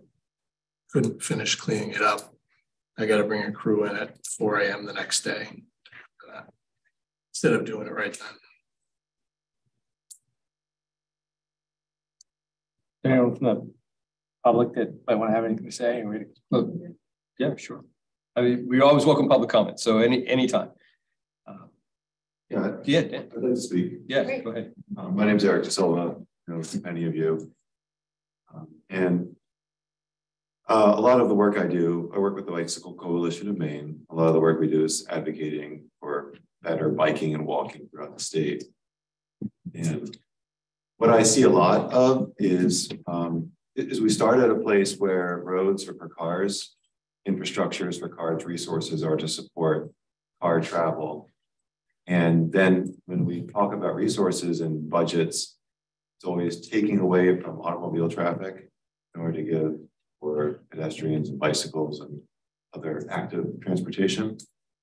And um, I think it's really, it would be really important to think about starting at a place where roads are public places for people and their tax dollars that are supporting this public area. And then thinking about how we want to allocate that space for all the users. So I actually brought some printouts and I'd love for you to just consider looking at it. It's very, hard to summarize stuff on here. But there's a really great resource that the city of Portland, Oregon created, and it's a, it's a car master plan. We see pedestrian master plans, bicycle master plans, but it's rare to see a car master plan. And what they did with this master plan is really look at the resources that the city of Portland is giving to automobiles and how that detrimentally affects vulnerable users. Why make a car master plan so we can see cars? Why make a car master plan so we can understand how drivers use cars now? So we can honestly assess how cars are now bankrupting people, cities, states, and nations. I'm not trying to dramatize this. This is just what it says. and, and so we can plan for the future. So there's a lot going on in a city like Portland. It's different than Orono, but I think that we're still doing the same thing here in, in a small town where we're prioritizing automobile travel and automobile parking spaces over the safety and walkability of, of the town. Um, and we're all, we, we probably all know people that could walk, but we have this sort of system now set up where it's easy and normal to just get in a car and drive one mile, two miles. And so we looked at the city of the town of Orono and thought about how can we make walking better year round, but especially in winter, even on one day when the snow is falling support people who are walking on that day. We can encourage more people to walk. We can meet the walkability goals. Looking at this poster back there too, talking about greenhouse gas emissions. These are all things that we can meet. And so some things I wrote down as I'm listening to this conversation, which has been very interesting. Um, why not accept a lower level of services on roads and parking lots? We can create that normality and make sure the public is on board and supportive of this. And that's something that we could do as a town, creating that service and then meeting it with the resources available. I see a lot of times the plow comes through and it's going to be a warm day and everything melts anyway. So when possible, can we work with the weather to coordinate what plow usage is going on? There's one inch on the road and that plow comes through and puts like three inches on the sidewalk. Maybe that wasn't necessary because in one hour it was all going to turn to water and, and roll away anyway. If we do have a, a dedicated sidewalk user, and I hear what Rob's saying, sidewalk plow goes through, and then half an hour later the truck goes through, and you kind of undo all that hard work. So can there be coordination between the sidewalk operator and truck operators so that we kind of have more of a lag time after the sidewalk plow goes through in order to keep that sidewalk clear until the sidewalk plow is ready to go again. And the truck goes first, the sidewalk plow follows afterwards, rather than having this like maybe half the day goes by and especially with the bridge, the Main Street corridor is covered. It's difficult to walk, forces people into the road, or instead people get into their car because some people have that option and then they end up driving instead of walking. So the car master plan, um, um, I'll pass it around. I made 10 copies. The plan, I, I, even made QR codes. It's really easy to see. QR code for the plan. The podcast is really quick. If you listen to podcasts a little bit quicker than one time speed, it's like less than half an hour. Really incredible. They listen, they do an interview with the author and they talk about the number of people in the community that don't drive. And for a lot of communities, it's like 40% of the people in a community that don't drive a vehicle. Talking about kids, other able bodies, and um, people that don't or choose not to or cannot own a car. And so for those 40% of the people, we're giving a small percentage of the resources back to them. So I, I think, I, I, thank you everyone for having this discussion. Um, I'll, I'll, start with Robin. Please take a copy and, and maybe just take a look at it. Thanks, Eric. Thanks, Eric. Another, yes. I'm, I actually hope that you will support the current level of service. In Orono, I think in Maine at large, there are a huge number of people who are elderly and fragile and can't simply can't walk. Um, no sidewalk that I've seen is clear enough in the winter for me to walk downtown. There are places within town where I can. But if you prioritize the sidewalks over the roads, then I can't go anywhere because I can't walk on a partially icy sidewalk. And I can't walk in the road that's not safe. And I can't drive in the road if the road is not clear. And I'm not alone. I think there are a huge number of people in Orono who are, I guess I'm not, I'd like to think of myself it's neither elderly nor frail, but I am both and getting worse and for the huge number of people in Orono who fall into that category, not keeping the streets clear so that someone who can drive can drive them to wherever they're going is really unfair. It's taking a huge segment of the population and not allowing them to get out and around. I think that's really important. People who live on the side streets in many cases are already functioning at a disadvantage through no fault of public works. But many of the side streets don't have sidewalks at all. So if the street isn't plowed, they have no way to get out. So I strongly urge you to maintain the current level of service. If over the course of the year you can see some patterns that you could change, when you had time to think about it, then it may be a legitimate discussion again next year. But I don't think it's appropriate to change it now in June without having fully thought through the ramifications. The other thing that we've observed, we've lived here now for 10 years. This will be coming up on our 11th winter. Winters have changed. When we first moved here, there was lots of snow, light, fluffy snow. Now it's ice we one, one snowstorm last winter, I think. All of the others were either pure ice or a mixture of ice and snow. But the, the storm in mid-January that put 18 inches on us, that was a snowstorm. The one that preceded that, I think, was a nightmare for most people to clear because even your big plows had trouble with that one. There's no way to avoid prioritizing the streets in that situation. Great. Thank you. Thank you. Can I uh, just respond? Um, thank you for that. And I, I think I agree with everything you're saying. Um, and I, I want to take seriously that suggestion that over the course of this year, maybe we, uh, because we are having such a, I think, a, a passionate discussion about walkability in this town, what it means in relationship to our winter service levels. Um, yeah, I, I think if there's some way that we can some some some sort of system, as Rika is suggesting suggesting, um, for keeping that in mind over the course of this winter and having a, maybe some check-in um, after the winter, this coming winter is over, or maybe throughout the winter, discussing sort of what we're seeing um, and what we might be able to recommend um, around this question. And I think that seems worth a discussion worth having.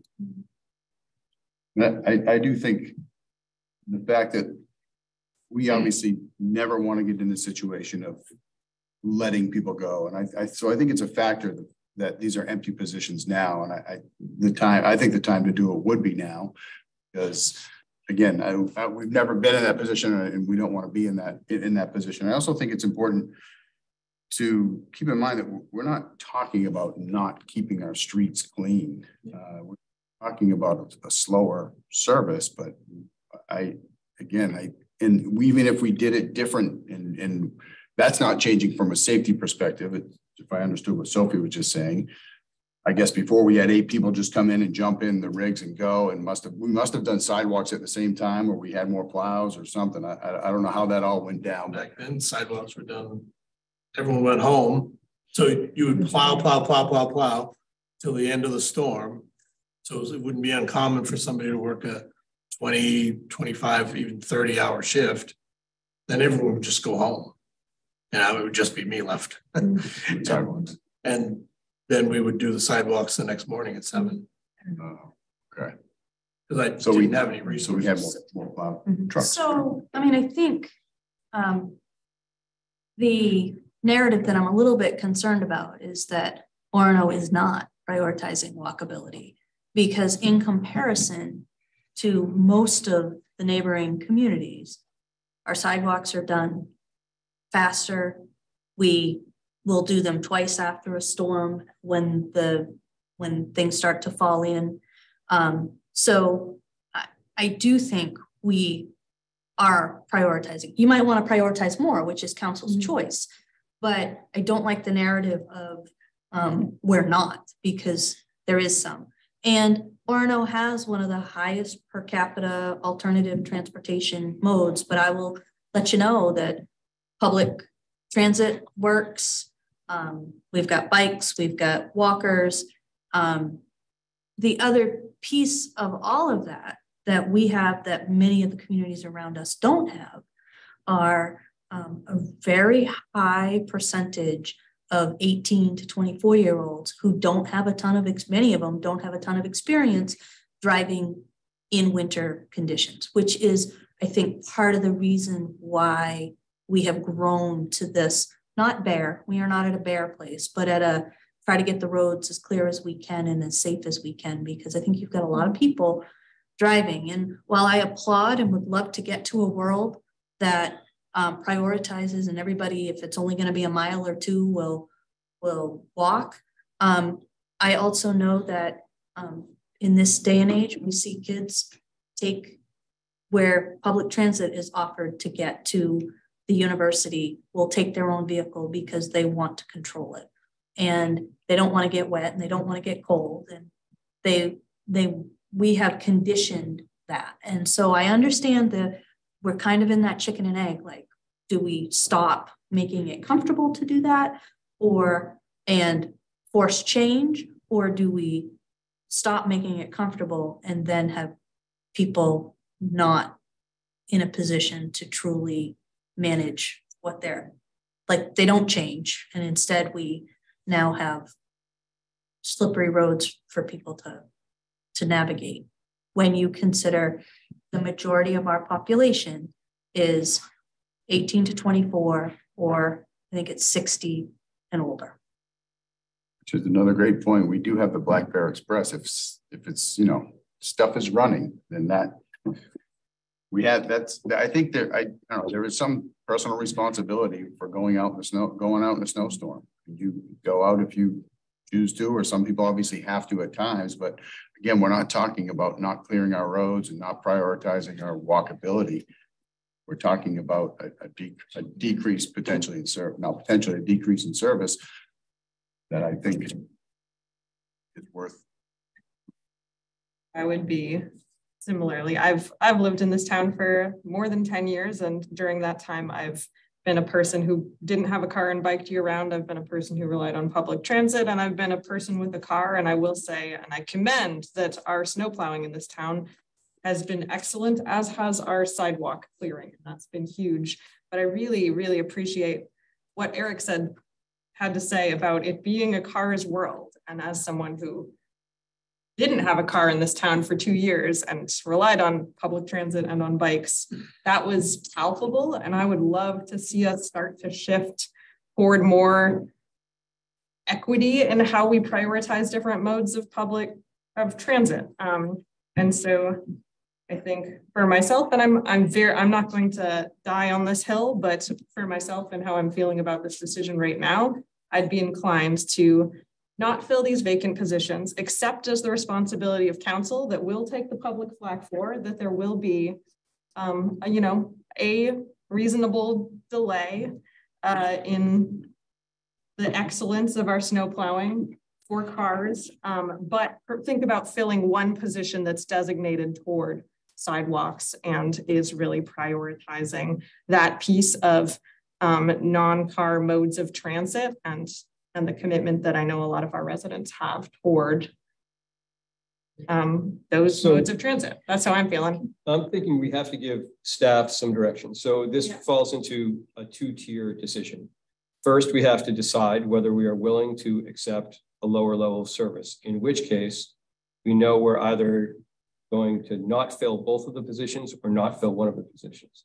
The second choice, if, if that is the choice of council, then the second choice is do we not fill both positions and accept that there is going to be a delay in both, a significant delay in both road clearance and sidewalk clearance, or try to fill one with the hope that that mitigates some of the other some of the parking lot and sidewalk problems later on. So let's let's take that first question first we need to give staff some guidance. Are we willing to accept the lower service level? I'll say I'm I'm in favor of preserving the service level. That's where I drop out. Accept, accept the lower. I'll accept the lower. I am open to potentially lower, but but I'm I guess I'm just no, I'm also very excited about the things that Eric was bringing up. Um, and not to create a tangent from what you were just trying to send. um, but but direction. But no, but not really. Um, I think what's being brought up, maybe I'm misunderstanding, but it sounded to me like from what was being described, regardless of what we do, um, if we were to lower the service level, around the, this, if we were not to fill these positions, it wouldn't do anything for our ability to be investing in the kind of things that we're talking about around walkability. It would still, in fact, lower in addition to our road service, our sidewalk service. Um, so I don't see it as a, a way to do good on that commitment, despite me being very interested in doing good on that commitment and having more robust conversations about how we have more equity in transportation around uh, biking and walking. I think those things I absolutely want to see because partially that's the life I live. Um, I, I, bike and walk all year round. Um, but also I know a lot of people who are in that same boat. And I think that that's really important for town. Um, so I am still for keeping this level, not only for the road service, the issues that Frederica brought up, but also because I don't see it having that significant an impact on our ability to do much good or make much headway forward uh, these issues that I, I, see Sonia bringing up that are really valuable um, out of what Eric brought. So all of that is a roundabout way of me saying I think I'm still for keeping the service level as is. I could be convinced to only fill one position, but I don't want to see us not fill both. If we filled just the one position, is it possible that that position then really was delegated toward meeting more of these walkability needs? I mean, if we were willing to cut. Sorry. Oh, sorry. Sorry, I'm ahead. But I also wanted to ask too, was it not in your original suggestion, Dan, that there be money that was designated to fill a position if needed, like Yeah, this I'm wasn't working? I'm Like I remember you saying there was money in there somewhere to use, you know, if needed, if it wasn't working. Is that right? Yeah, In Your suggestion? Yeah. Yeah. I could, I'd like, this is gonna continue to come back to it. I mean, I'm for what we need to spend to deliver value to, to our community. I just, I don't know. I, I get frustrated because so intangible to me, you know, I have no question that the staff is dedicated to doing the best they possibly can with what they have. And they'll do everything they can to be successful with what, what council decides in terms of resources. Um, and if there's a, if this is a yeah but, and the but is we need someone in a, in a snow plow, in a sidewalk, snow blower, snow remover machine. I'd be 24 hours a comfortable. day. Yes. On, on that note, can I ask, is there, I think there was brought up something about, is there any thing prohibiting any kind of per diem, some retired person with a CDL? It's probably a unicorn, doesn't exist, but if, if, if it existed, That's what's presenting and preventing you. I, filling a position in the middle of the winter is super hard and we've tried in the past, it just doesn't. no, but, but if, if if there were somebody, whether, I don't even need a CDL for a sidewalk plow, obviously, but if there was somebody that was willing to do a per diem, could you do, like we do per diems at the library, I think, right? Could you do a per diem? They would have to be checked out, safety and all of that. substitutes at the library, which is, they, they're always with a paid, they're supposed to be with a paid staffer. Um, the thing about Public Works is in order to even get in a piece of equipment, there is substantial training that they have to undergo, um, first and foremost. So it's not like I can say, yo, Jeff, you've done this before come jump in this vehicle and go forth and do it. We would get into lots of trouble if we did that. Second piece Yeah. is, yeah, yeah. Um, the second piece is, um, you're setting up this, I'm gonna get rid of a full-time person and we're gonna try to substitute with per diem. And the thing about per diem is they come when they want you say, here are the shifts I need. So per diem works when you say, here are the shifts that are available for the month. Which ones do you want? And then they say, I'll take these ones. And then you try to hold them accountable to that. Per diem on an on-call basis, that would be um, an incredible unicorn. And I also think um, when we look at public works right now, we have lots of benefits because we have a crew that isn't delineating what their positions are, what their jobs are, when they work, how often they get called in, what the break time is. And if anybody who's had any experience with labor unions understands what I just laid out are working conditions. And if we start messing too much with that, we are going to be in a different world of if we mess too much with the working conditions and we start perception of taking away time, taking away resources and expecting more, I am just afraid that we're going to start getting called on the carpet for the working conditions and not have the flexibility that we have now. And that flexibility is what allows us to work with what for public works in a community of this size is an incredibly small team. I don't know if I've said that in a correct way, but trying to convey a general message. I wonder if I think the last time we used part-time or per diem employees was back when we still had sort of had a mowing crew, summer mowing crew. And we ended up with, it was really hard to fill the positions. Um, we ended up with some workers' comp claims out of the deal. Um, you know, I think having somebody like Sophie was describing, I can't tell you when I need you. Yeah. I need you to come in and train you. Yeah, I just, I I wonder if I might hear from Sarah and Sonia on this, because we have spent forty minutes on this. We still have to talk about capital infrastructure. Um, I would not support, um, I think option A, the service level change that would have this trickle, trickle down effect on making, on delaying plowing that makes our sidewalks accessible. Um, and I assume we'll get to question B in a minute. Right. Yeah. I may not have question A and B still separate in my mind, so correct me if I'm on B instead of A. Um, I guess my question is, I, I mean, I hear what everybody's saying because I hear Leo saying, but these positions aren't filled right now and we really don't want to lay people off. So this is this moment of opportunity. And I really hear we don't want to make a disaster for anybody anywhere around town.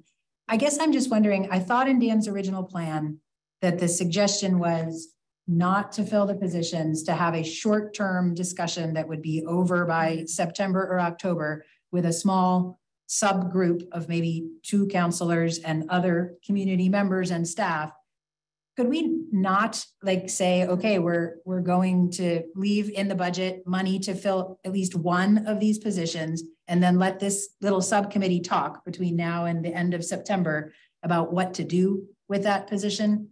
Um, I'm just putting that out there as something in the middle, which maybe I could live with. That's me. So I like that. I guess my question is when you say what to do with the position, what do you mean by that, Sarah? I don't know. I've heard a lot of different ideas from people about Yeah, we that. So maybe you know, someone we- else. We've got a model in. we operate under now in terms of, it, it sounds like the sidewalks, I mean, every storm's different and, you know, the different times people come in. And it strikes me that it's, um, the sidewalks kind of become, have become sequenced third in the response model. You do the roads first, parking lot second, and depending on the time of day, which parking lots you have to do, sidewalks third. If we kept, if we had a flexibility to have that extra position, someone who really was, you know, a sidewalk guru. Um, and then, you know, operationalize things in a way that makes sense. You know, it's, it's Rob's gig and, you know, we need to be careful about getting into this, getting into the weeds in terms of, so I'm sorry. In terms of it doesn't want in any way question expertise, but at the same time, there's so few areas for us to kind of bend the trend um, in terms of spending. Um, so I think it's an opportunity not to be missed, but so I'd be willing to, but yeah, if you want twenty-four hour throughout the storm sidewalk maintenance, even with just one machine, then you really need two people. Yeah. So that you can stick with the same safety model that you can't just have one person do sidewalks for thirty hours. right. So, so there would still be that necessary sixteen hour shift limit, those sorts of things. So I mean, that's, to me, that's where this whole idea of doing sidewalks before streets is difficult. Because they, you know, they have to happen in that sequence. There's no, Right. you have to plow the road, then you have to do the sidewalk, because unless you start putting the snow in the middle, and some places, that's what they do. And if you look in Brewer as an example, they go through and they build these huge, You make big piles in the middle, then a big loader comes the next day with trucks and they And- blow it in and that's resources. We look, we don't have a snow blower on the front of a fire. But I, I mean, the, from the sidewalks, I do, I, I feel like with, there are main streets and there are main sidewalks and, and the most, the, those are, those are most important in my mind. If I have to walk up Mill Street in the road, then I walk up Mill Street in the road because the sidewalk mm-hmm. It probably doesn't get the sidewalk. That's how we prioritize that now. Yeah, and, and so like the, the main, the main sidewalk on that side, it probably doesn't even get, get snow from the plow. I'm thinking it's pretty high up over there, like a lot of the main street, maybe right down here. No? Everything gets snow. Well, again, I think, I think, I, I'm thinking in terms of the main streets being priorities and the main mm-hmm. sidewalks being priorities and public safety and the school parking lot. So I, I guess You we just described our current. we, we come back to our, the what initial question. Is the majority of council willing to subscribe to some form of service reduction? I say no. It sounds like most people say yes. Are you Is asking is us that- about eliminating two positions or one? I'm asking you, are you willing to entertain a service level reduction? And then we can decide. Okay, What- I'm willing to entertain. I think I'm willing to entertain it. I actually, I'm, I'm grateful, Sarah, that you reminded me of the, the sort of level of plan that was in what Dan shared with us, because I like the idea of entertaining a level of service reduction, but with some guardrails, because I don't want to, um, you know, get into a situation where we sort of ruthlessly, um, without doing due diligence, cut from the budget, what may end up being like a really valuable resource that people are going to value in the community. So I love the idea of maybe not filling the positions right away. Putting some more thought into what's the best way to utilize those resources that will best, um, you know, supply the service level that the community really wants. And if that's two full-time people who trade off on sidewalks, I'd think about that. If that's uh, in, across the board, will want tax cuts in the future and service level reduction, I'd entertain that. But if it's one person, I'd entertain that. But I kind of, I'm appreciating Dan's plan, being reminded of it. Su- Suggest, let's be careful. One, two, yeah. I understand that uh-huh. this is council's meeting. Yeah. But we've been sitting here for two hours. Is it possible for us to take a five? Oh, I'm sorry. Yes. Sure. Thanks, Mike. I love that. Thank you.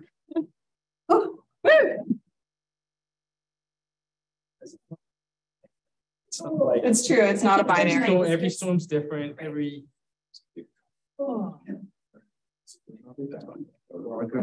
I'm scared one. I thought you said one, two.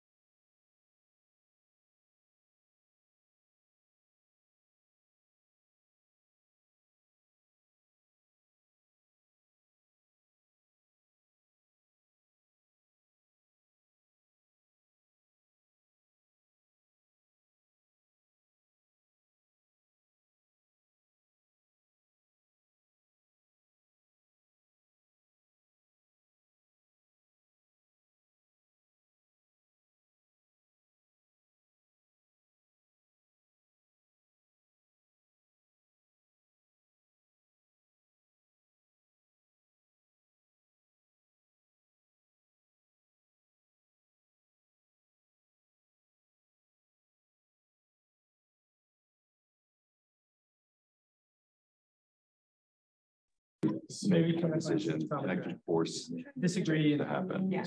We're only, And then even then, it's gonna take time. Yeah, we're only talking about. Kickback. So what do you think we should do?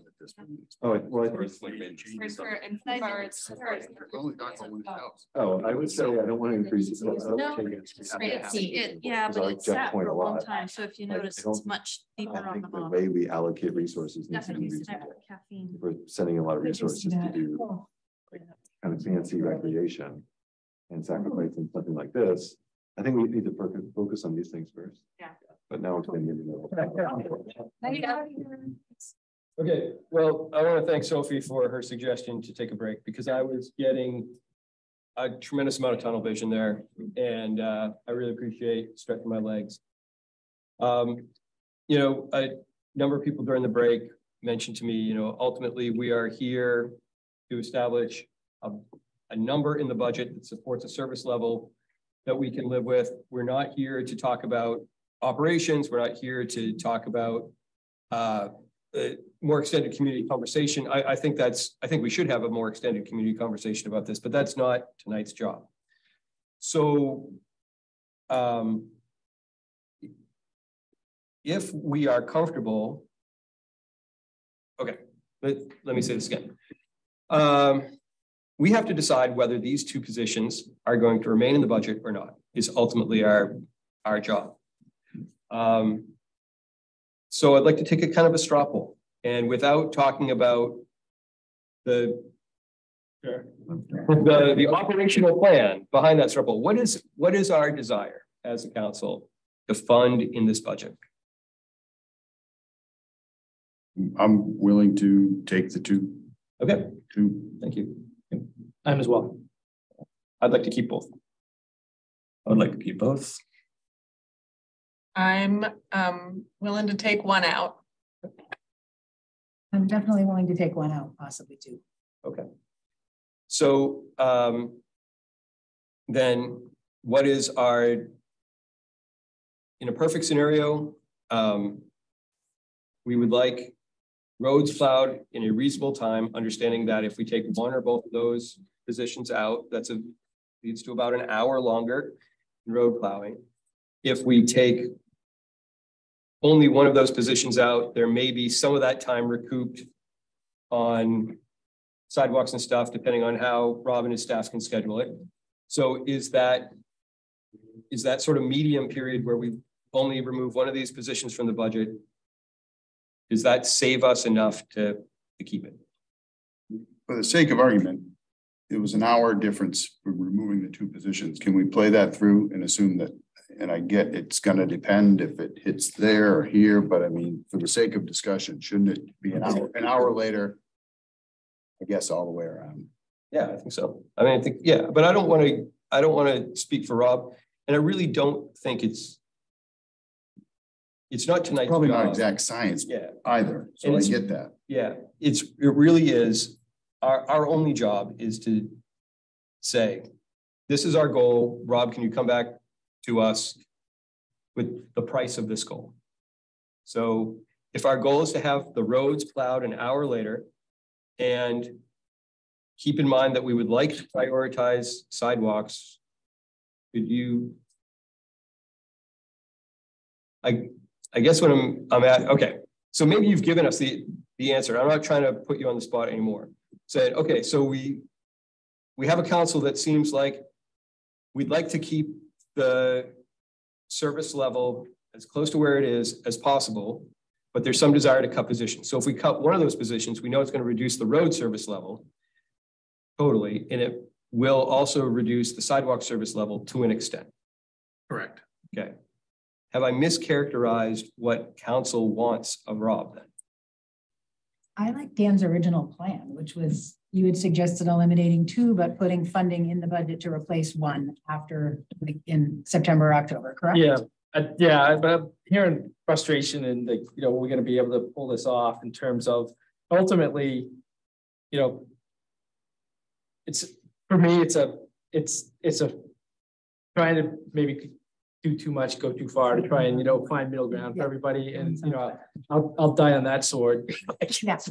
Um, try, trying to help everyone get to a position where we could all, but if we're not gonna get there, um, I do think there's some fundamental questions about the trends and, you know, spending trends and things like that we have in, in, in Orono and, and what we're spending money on and, and, you know, growth. And I understand there are reasons behind it. And we just have to determine from a, as elected officials, if, if we're comfortable with that trend and, and what this budget presents to us. And I do want to have longer term conversations about how we prioritize things and bring back true value assessments from the community because I don't, know, we have very few people participating in these sessions um, and we hear different opinions from a couple different people. So, you know, it's hard to say. Um, I don't feel like I have enough to know what this community's true sense is. I know I love it when I go out and the roads are clear. So yeah, me either. So I really like the community part. So I don't think it's unimportant. Yeah, Can I just add that we've already cut one position in this budget. We are one position less than we were this year, Which position? IT. So we've cut that. The second thing is, over the last two years, we have filled somewhere in the neighborhood of five, six public works positions. Four. Four? I'm thinking WPCF too. Four public works positions. From my perspective, I hear a desire to look ahead and say, this is where we want to get to. I do think, while incredibly um, plugged in and um, thoughtful counsel councilors, even I can't replicate what Rob and his team knows about the roads. And I just wonder if it would make sense. We know where we have turnover, more so now than in the past. The workforce is shifting and changing. Rob and I suggested to council five years ago that you put pinpoint in time and say, this is where we want our budget to be. And give us the time to put a plan together to capture attrition as it comes through and look at what the priorities are. It sounds like you really want to engage the community to develop priorities across the board. I mean, I don't think you can do public safety, public works without doing the library, parks and rec, and others, right? So the only thing I'm afraid of here is that the vision in June for what the service level will be and the resources that you're giving us to meet that service level are not going to match. And um, we can get to uh, this, it won't even be December, it will be January or February when we you get feedback from people that it's not working, if it's not going to work. And at that point, hiring somebody doesn't really help. It's unusual for us to be able to hire somebody that will go directly into a truck or even a sidewalk machine. Working at the beginning of this of the year when you can still see landmarks and work thing, things through is an important piece of operating that equipment. Um, and um, the the idea that there's a contractor out there, there are a few contractors, but by that time of the year, they have staffed for. We would be negotiating even before now for a winter, even assistance contract, even like what we do over at the UC. So I think um, I think it's important to kind of just, I guess, take that gut check and understand cutting people and asking, cutting 20% of the resource and asking for better sidewalks does not make sense. I don't know how you manage to do that in Maine with the way our infrastructure is. Um, ultimately, it's your choice. And I think the other piece that usually has gotten a lot of conversation that I haven't heard a lot of tonight, um, you can skip over it if you want to, but in the past, it's been a great interest to council that one of the things Rob is saying without coming right out and saying it is with redu reduced resources, he is not going to be able, he's not going to have the ability to prioritize that seven o'clock school start the way he does now as an absolute. So is there a way to make it so that does get prioritized? I, I guess, again, it, it, this does depend on when the snow flies, doesn't it? I- Am I missing something? I, I, I guess the only thing we can guarantee is that right now that we are staffed to do it, and if we make cuts, we may be staffed to do it, but there may be times when we're not. So now we can almost guarantee it. You know, unless we have a really bad storm and there's a snow day. If we make a staffing change, we'll have more snow days. So I think the idea, if we had additional resources and it was easy to meet the seven o'clock cutoff on a routine basis and it was out of the norm for it to be difficult, um, then I could probably not have the concern I have. Um, but right now, when I have my public works director come in and say, yep, I found the rabbit to pull out of the hat because I didn't think we were gonna make, make it to the school. That, you know, again, where there's a lot of stuff going on and I don't think council necessarily sees it all that's happening. but I guess we're, we're getting probably again into- into the. Back in weeds the weeds. here, All right, so- so your question really is, can we accept the one hour delay? One hour delay on the plowing, one hour delay on the sidewalks? Do we think as a council we can accept it? Yeah, uh, savings of three hundred. It's a lot of money, right? Yep. It's quite a lot of money. How much, Leo? Hundred thousand dollars operating each, each year. Yeah. Every year, and then a, a truck until we have to get a truck. Okay, It's, it's not insignificant. Okay. Like I could try it. I mean, I don't think it's ideal, but I really also feel like this mm-hmm. conversation could go on endlessly. So I guess I'm just gonna say, I think I could try it. I liked the idea of having some money that was in a contingency fund. But if that's really useless to you, I was hoping that could be used by September or October, not in the middle of January. So personally, I'd rather put the contingency fund thing in there for one position back if needed, but I think I could live with it. And I think I'm ready to move off this conversation personally. I think I could get on board with what Sarah just said. I think I'm of the same mind. I really do find interesting what you brought up. Thank you. Dan, and I, I would be interested in that. It sounds like the timeline also wouldn't really make sense from staff's perspective. Um, I'm, you know, and I, I know I've been one of the people saying I really don't want to cut um, on this line, but I, I, I could find acceptable as a compromise here, cutting one position and only staffing one. Okay, so w- why does only, only staffing one puts us an hour behind? Losing two puts us an hour behind, so I'm not sure why we would only staff for one. Hmm. Is it not but- true that that person could potentially swing shift if needed? I mean, the extra person would would reduce the impact on the sidewalk clearing. Sidewalk, okay, there we go. That sounds worthwhile to me. Okay, What you said? uh, what? Is that what you had just said? I said I could leave with the two if we need to live with the two, but if we're settling on one, I can do that mean, I- too. I'm just really We're ready good if you wanted to, you know, I was offering my make a choice. feelings of It compromise. sort of two with one because there's contingency money to put one back in, as I understood it, by the end of September or early October. So it's Feels like two, there are but potentially one depending on the conversation. Yeah. To- That's what I understood. And, and end the. Okay. conversation. so Dan, Yep, I'll go Two. two. two, That's Leo, correct. two, Are we still putting the contingency in so we can add? Well, we have, we have, capital- we have reserves. We have. So it's reserves we could use. Great, then I can I live with think that's what I'm your great. thing said, is that we have reserves. Uh, what, uh. We're gonna get into capital, uh, from, Wasn't it listed as? I, I don't have a real view of all the reserves, but I think we probably have fifty thousand dollars in reserve somewhere now. It's a hundred. Yeah, well, there's, In, in one of our reserves accounts that, uh, So we have a winter maintenance reserve. Not that one. we have unintended, what do we have? It's the unintended, it's the unassigned reserves, Restricted.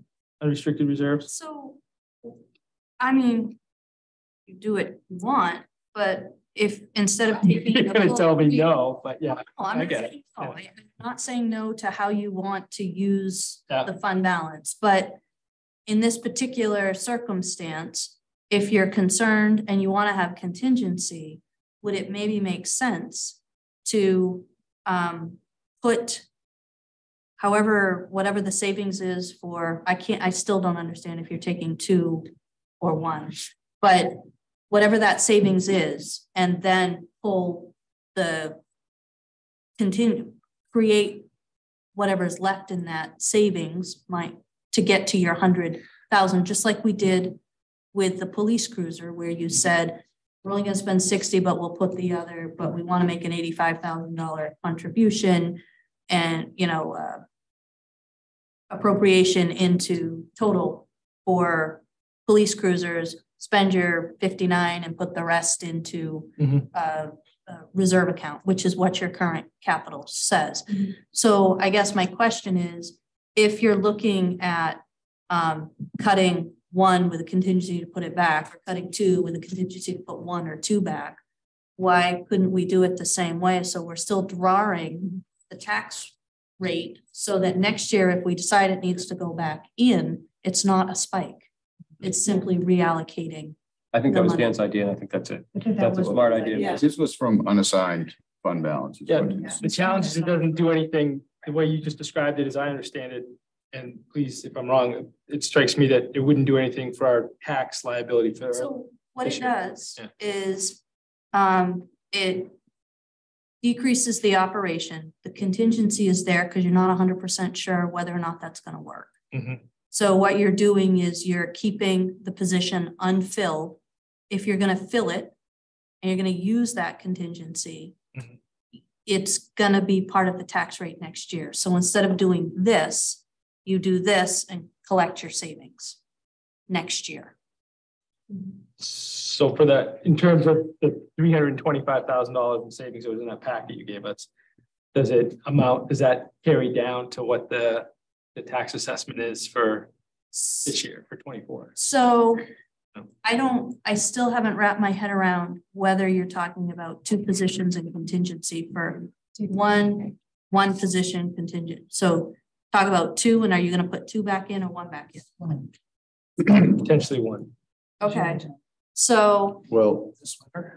no, well, I, yeah, I, Yeah, see, this is challenge. I mean, I, I'd hoped for, I'd hoped for, you know, the option to be able to have a conversation and, and, and And- figure this out together and, and then have some resources. To the extent we, if we identified, we, you know, we brought in some folks, you know, from the bicycle community, the school mm-hmm. community, the health association, and brought people and had a conversation. Like, You gotta absolutely have that person who comes in at four in the morning, gets in a snowplow, gets in a sidewalk snowplower and works from four until, you know, noon every day to make sure, that you know, that kind of stuff.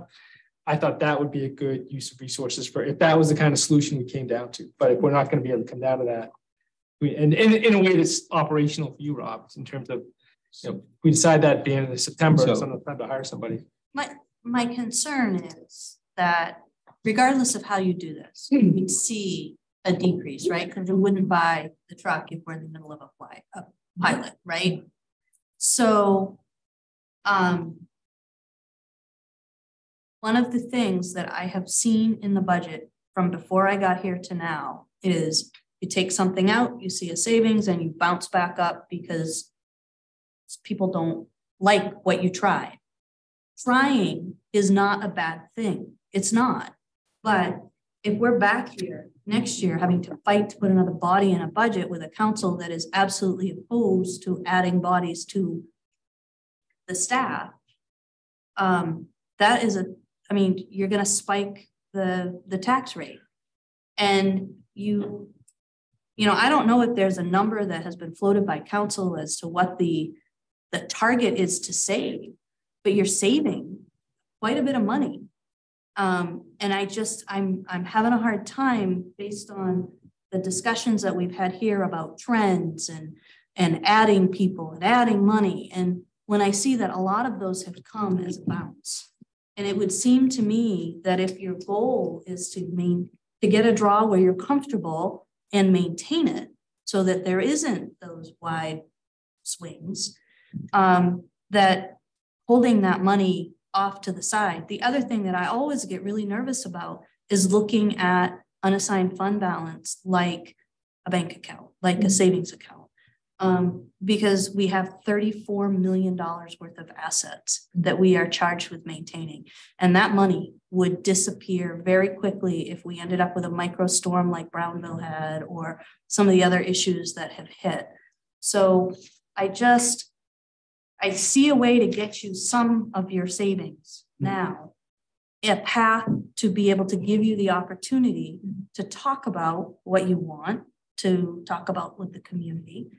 And um, re- and not have that bounce if what you're thinking today isn't what the community ultimately wants. That's, question. Do we have a million dollars in the TIF reserves altogether, roughly? Is that right? Um, Based, this, this. is- yeah, about Essentially. nine hundred something thousand, I think, Um, because that's the, can, can TIF reserves be put towards cleaning streets down, downtown streets? we have a really hard time um doing that unless it was uh. You know, we could buy equipment with it. If we had a, for a long time, we had a like a contra, a special season, you know, like. Was Marlene, Marlene that did downtown like cleanup. We, we charged that out to the, to the district, which would be similar to the TIF district. But if we but- theoretically had someone come in and focus on keeping all of this downtown district clean, Have that now. I, I'm, um, I guess my point is, is there thirty grand in that reserve fund that we could set it, that we, it, it's there. We use it if we need to. Trying to understand, You can only use those funds in the district. only in the district and That's the Then only that- place we'll have it, right in the district. But we don't, we don't have a position that's ninety-two percent town, eight percent That if we squint, district. it seems like we've squinted at times on, uh-huh. on how we use that, but maybe So- off. Is our, is the consensus of council that we're gonna reduce two positions and build in a contingency for one? Or is it reduce two and build a contingency for two? Or a half, because it wouldn't happen until Sep- September. But I, I think we have to build in either one position Mhm. or two. I'm comfortable with reducing two and building a contingency for one. Yeah. Zach? I'd rather have it come off the tax and come out of the assessment. So that, I mean, if we have to come back next year and say, whoops, we need, absolutely need two people back, then we have to, you know, that, then that's the accountability that we have to be able to expect. Okay, Sophie, is that enough direction for you? to so do? I don't quite understand. Dan, what you're saying is you would prefer, where do you want the contingency coming from? I would, the unassigned balance if we have to use it. I think that's our, if that ends up, it's gonna end up being our only ask out of that account, other than the three hundred thousand dollars, that's. All right, thank you for that discussion. Um.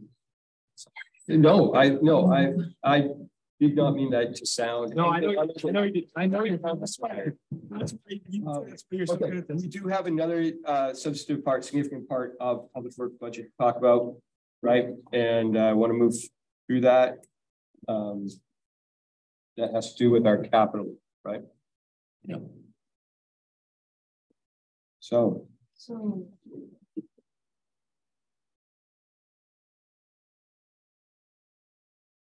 And everybody's sitting in on such a long meeting with us. Yeah. Oh, yeah, sorry.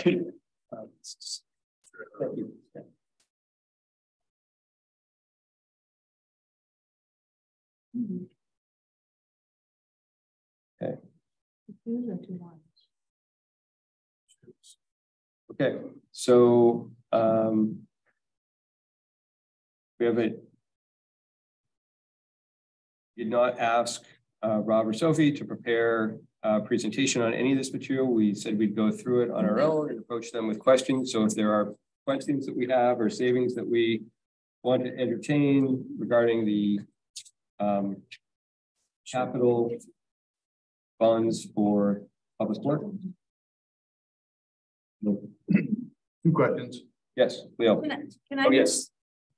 Can I just, um. Before we Move on. I Yeah. just need two seconds with Rob. Sure. Sure. If Somebody can help me find this part. So.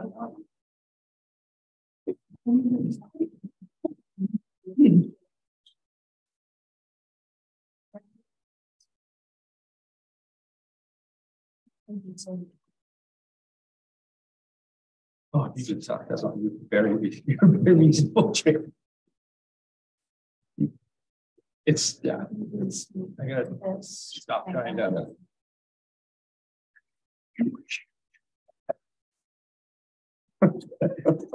One hundred percent.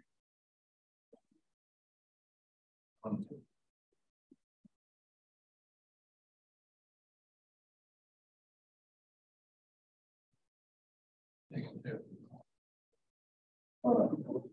Thanks for good TV. Just watching us through fly.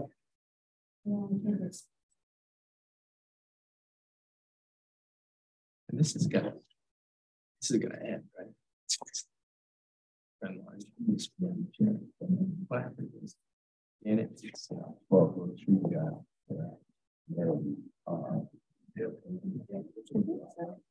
Yeah. See if they can maintain us there. Yeah, the five percent is little easier to take than you get. If you want to keep the tax rate flat, that position.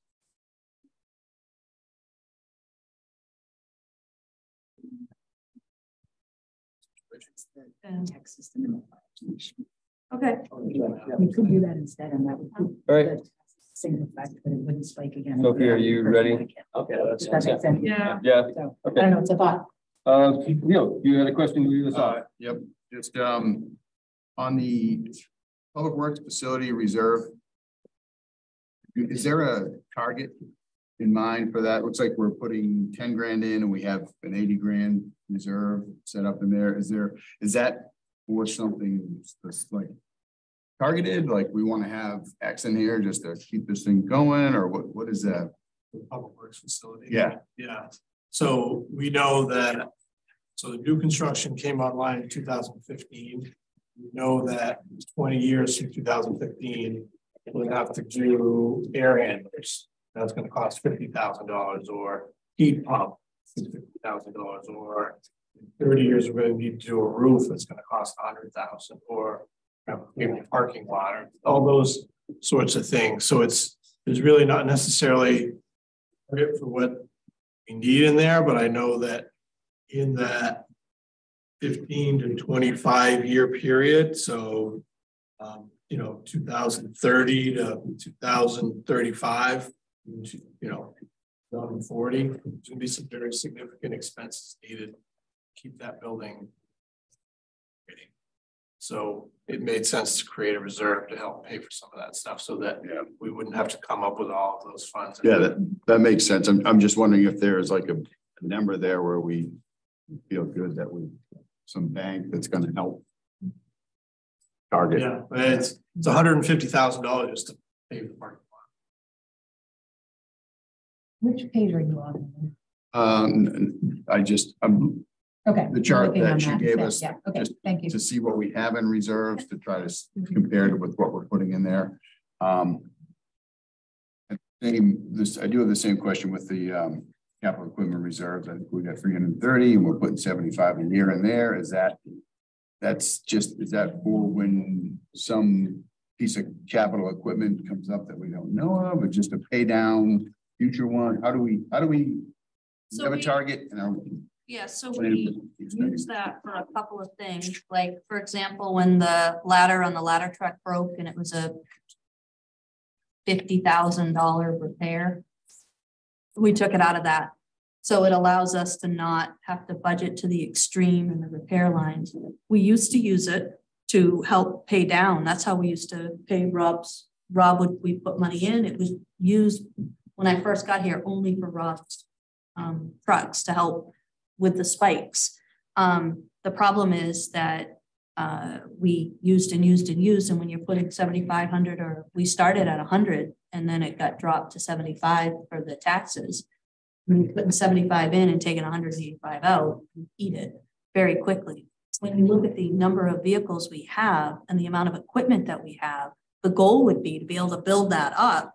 So as part of our long-term capital plan, we would have a single consistent draw on taxes and be able to use that for maintenance, you know, like the big repairs that we know are coming. And also to um, take some out to make sure that we have a, an even draw is I think the intent when that first started. The problem is that we used so much of it and there isn't a way to put money back into it. How high has it been? When I first got here, I want to say it was in the eight hundreds. And we're just building it back up.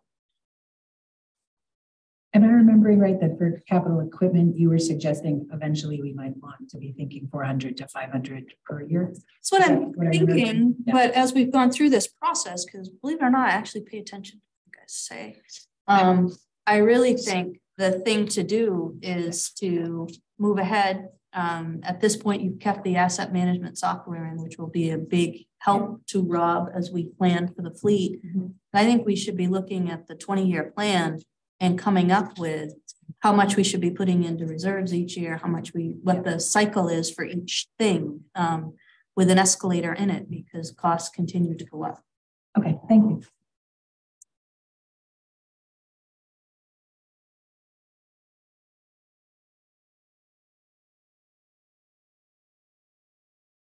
Actually, a question, Jeff, but I did have a suggestion kind of that connects to our previous discussion. I was, I agree with Sophie about not wanting tax rates to spike if we are adding the position back in.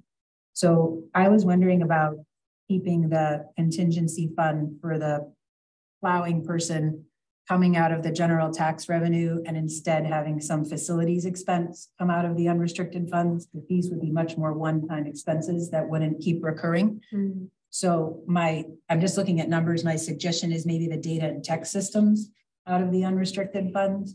That's one twenty-five. And then we could keep the hundred that's for the position still coming out of the tax draw so that it wouldn't create a tax spike if we added that back in. Mm. How do people feel about Sophia, that? what does that do to your, to your long-term planning of that? So I mean, I think sense to me. we end up in this place every, every year where we look at capital and we say it's a one-time expense. And you're right, we're only Well, gonna do that once, right? Yeah, not that it's. The, the issue that we have is that it's not, we're just gonna, we're gonna buy these things only for one year. Sure. And so when, for example, last year, we dropped the equipment cost from the tax rate down to like forty-seven thousand dollars. And this year, large chunk of the six hundred thousand dollar increase is getting us back where we were. I wonder, instead of, because there is kind of, if you're looking that we're starting to get to, over the next five years, a pretty stable amount. We also know that there are lots of things that we're assessing right now that are going to have larger costs. So I just wonder if it would make more sense to look at, if you want to hit fund balance for a big one-time project, I would do it as a catch-up project as opposed to fund what we know will be an annual expense of it's X number of dollars every year to maintain our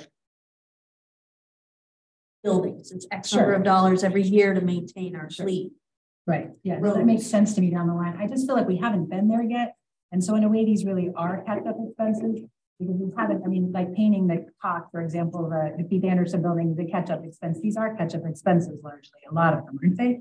So if you look at the capital plan, until you get to twenty twenty-eight, where Rob is saying, I can't put anything for facilities in twenty twenty-eight because I'm waiting for so many assessments and reports. Right. There are tons of unknowns. Right.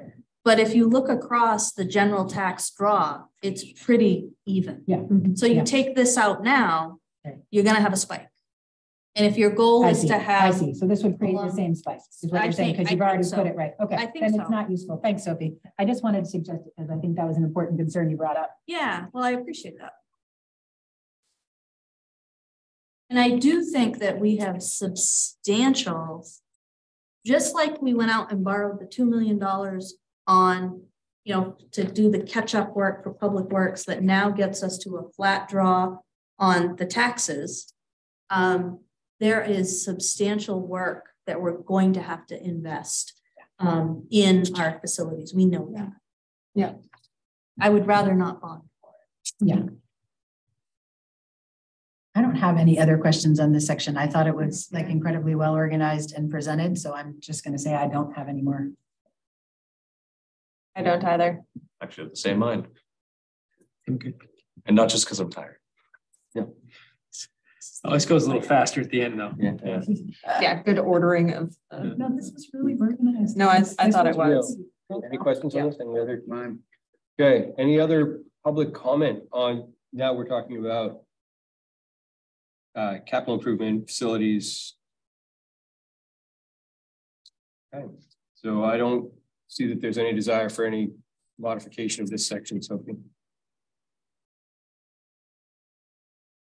Yeah. Okay, so what else do you need from us to deliver a budget?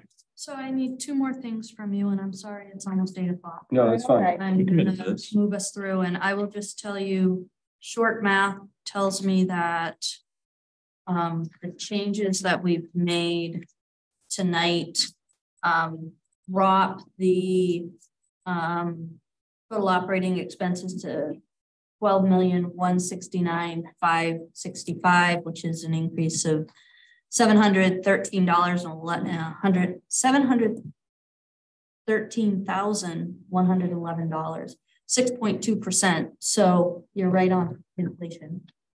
Um, and, um, capital is at two million two million, one hundred sixty thousand, six hundred and eighty, which is an increase of three hundred seventy-eight thousand, twenty-five dollars. And that percent? Uh, that is twenty-one point twenty-one. Total increase is eight point two four. We're down four hundred nineteen thousand six dollars in the municipal assessment. Um. Which is three cents on the mill rate um increase projected. Now, understand that I have captured what I think is gonna be the real property growth mill rate that we publish is likely not gonna be the mill rate that comes out because we are doing um, an assessment adjustment, but you've got to be able to see what that will really mean in pockets. Because when the value goes up, the mill rate goes down, it equalizes. Um, you send it, you'll send us that latest Yep, update? I will send you that. I'm gonna take some time with Rob tomorrow to go through and double check. Um, my, so I just wanna make sure I understand.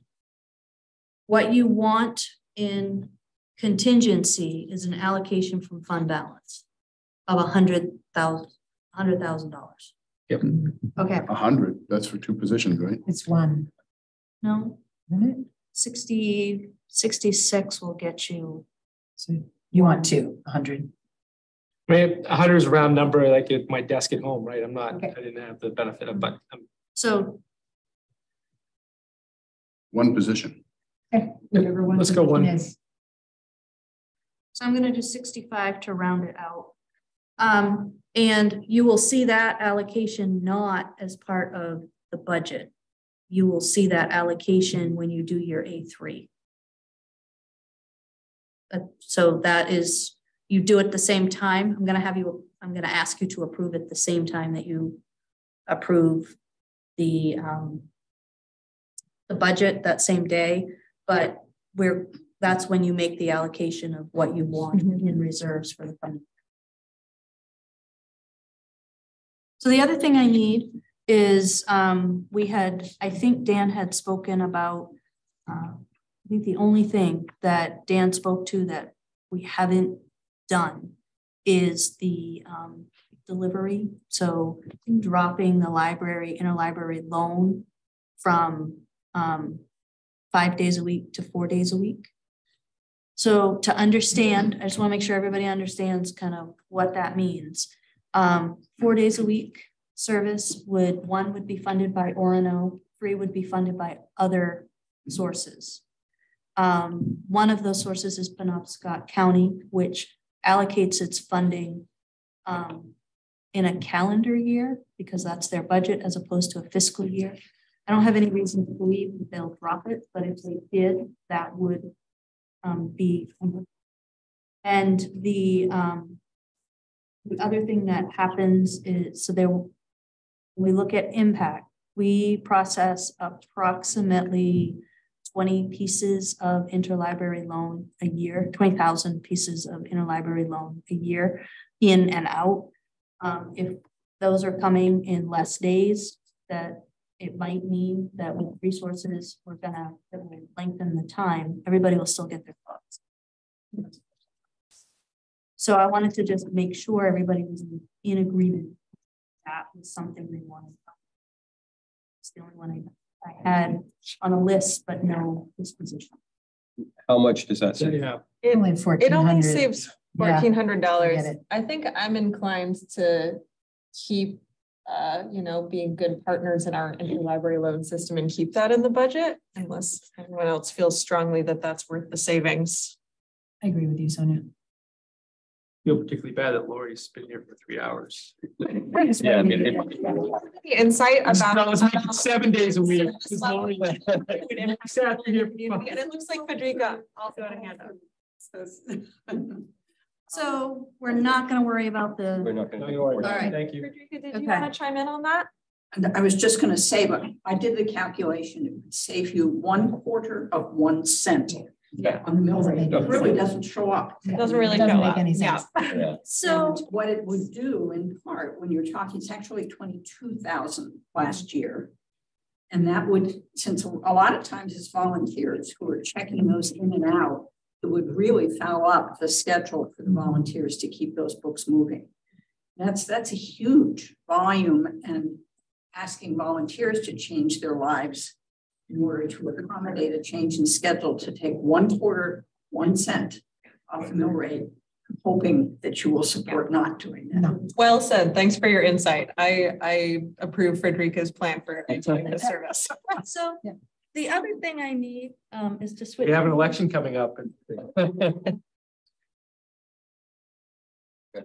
So the next thing I need from you is I create.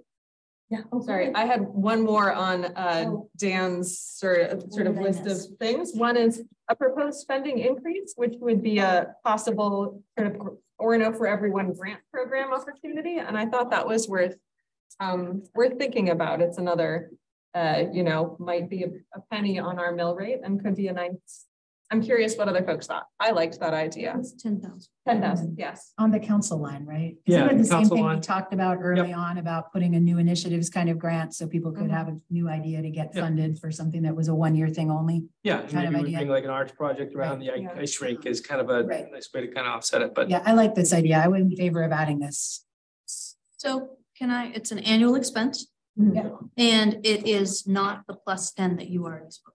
It, I mean, is, mm-hmm. is it, or is it? It is the same I one, think it's the right? same It's one. The same one. Is that Is that money in the budget or? No, I haven't put it there. I just want to make sure, because that was, I had, So we don't have any protocols around the development or dis development of this program, disbursement of this fund. This is just putting it in the budget as a Yeah. place. yeah, and other councils have done that. And remember, not that we want to do a lot of it, but you can put money in there that you ultimately might decide that you don't use, you're not ready to use next year. And it lapses to fund balance. As long as, okay, we're not obligated to spend it. No. And I have, just so you are aware, I told Rob you can go because it's getting late, Yeah. but Thank you, Rob. Thank you, Rob. so what I need, um, I do a presentation of the budget.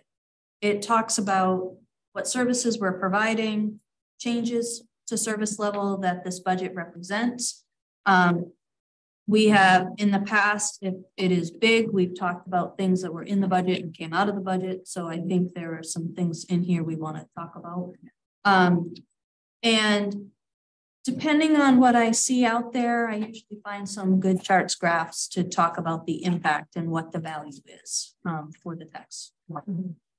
This is not something in the past I have run through council. Council shows up and sees it the same day it is delivered, and quite frankly, many days it might just be being finalized ten minutes before the meeting. Um, so I saw a suggestion that we get a PowerPoint out by Thursday, if that's a necessary thing. I don't know that that's something I can do with my current schedule. So um, we have to, that's a council desire, I think we'd have to talk about what what I would need to not do. Um, but are there particular highlights that council wants me to hit? I don't, at this moment in time, I'm not even looking for a point list. If people have ideas, I'll probably come back to them. But are there specific highlights that you think beyond what I've already talked about need to be hit from this? The ones you said. Services the budget funds? Mhm. We always spend some time talking about the separate, um, what the tax bill funds that the council only has control over municipal. Yeah. But the services we fund, um, made major changes, increases, decreases, service level impact. Yeah. And then we talk about impact to the pocketbook and the value that you that you're getting. So what you're spending. So one of the things we've seen that will be new this year is an allocation for how much you're spending for um, public safety, how much you're spending on a on an average tax bill. So. So the only thing that's been really helpful for me in the past is when you can break it down in graphs and pictures. I'm really appreciate the visual, the pie chart kind of thing. I think what you just articulated in terms of a high level overview sounds great to me and um, sort of the resource the community is probably uh, knows and, and expects. Yeah, that too. I like the idea of like Thursday is a week ago. Thursday seemed like a pretty good idea, and you know it's Monday at eight eight o'clock. It doesn't. Um, so I, I throw this out too for Sophie for you, but for anyone, it's just you know some this, these kickoff discussions sometimes would be, please don't think they don't always have time to come into an office or we get together so infrequently. So please, you know, oftentimes they're just a starter, you know, it's kind of my own. So the extent it's helpful, great. To the extent we need to talk about it. I would like to see something, I'd love to see the PowerPoint posted as something with the budget materials so that people who don't get a chance to watch the whole video would be able to see it. I think that'd be helpful because there's so much content, rich, important content, but that'd be good. PowerPoint's kind of tricky though, because not everyone has PowerPoint, right? I know. PDF it though. PDF. So we PDF it. We PDF that. The other thing we can do is clip the um, public hearing and put the video, Yeah. a link to the video.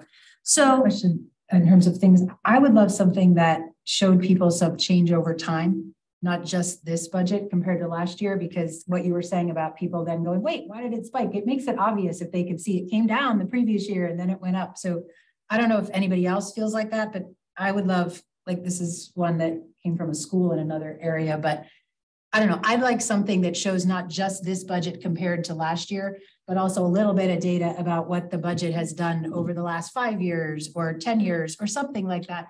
Because otherwise, I think there's too much hyper focus on little blips and not like how it plays out. That's me.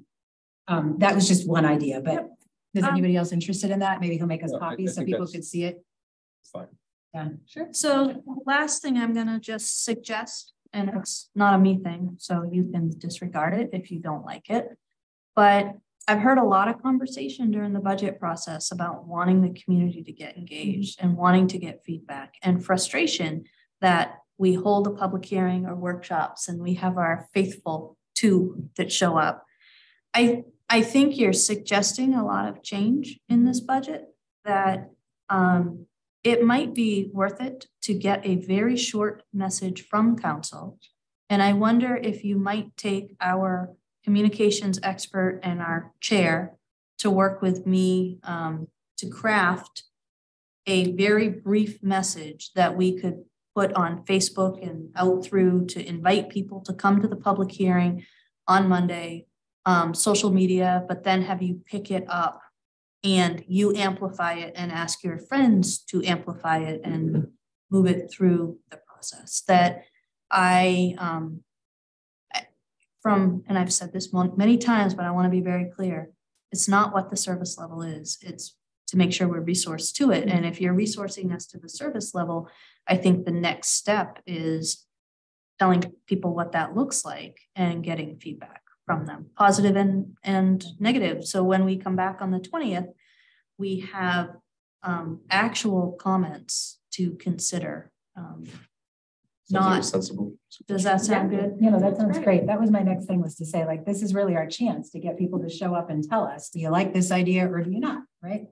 So if I, I, I will say, I talked to Dan earlier to make sure I wasn't following, well, telling him. Telling, you can go Um, stuff if you. So, and he was, he was happy to do that. I do think getting it out sooner rather than later will be important because it takes time for that to build. Yep. Um, and I also wonder if it would make sense to put a budget comment um, form website for people who just submit their comment if they can't come. That's a great idea. And some of it, some people will submit comments that have no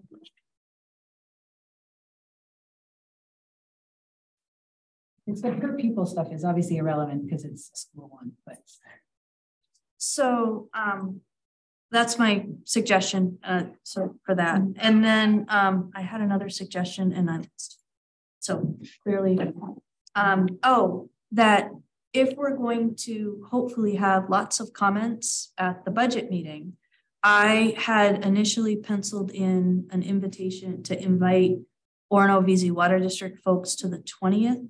I would think that we would want to put things on the agenda that we could more easily bump and not have guests be, just in case there is a lot of comment. Um, and would bump, would see if we could bump them to July, which would be, um, probably not gonna do it on the third. I'm gonna guess you're probably not gonna wanna have a meeting on the third. But we could do it the next week after the council meeting if that works. I can issue. Great. Sounds good. Thanks for reminding us about the rest of the process. And I think it's really important that tonight isn't the end. Like there's Yeah. more coming about hearing from people and responding to that potentially. Does this mean we don't have to meet on Wednesday? I would say, I would say I have my marching orders and. And understand when I present the budget, if I've somehow Come, not done it correctly, then. Guys have another bite at the apple. Thank you. Okay, thank Thank you you. all. Let's close the workshop. Thanks. I don't think this page applies in. Yeah, I just. Might be.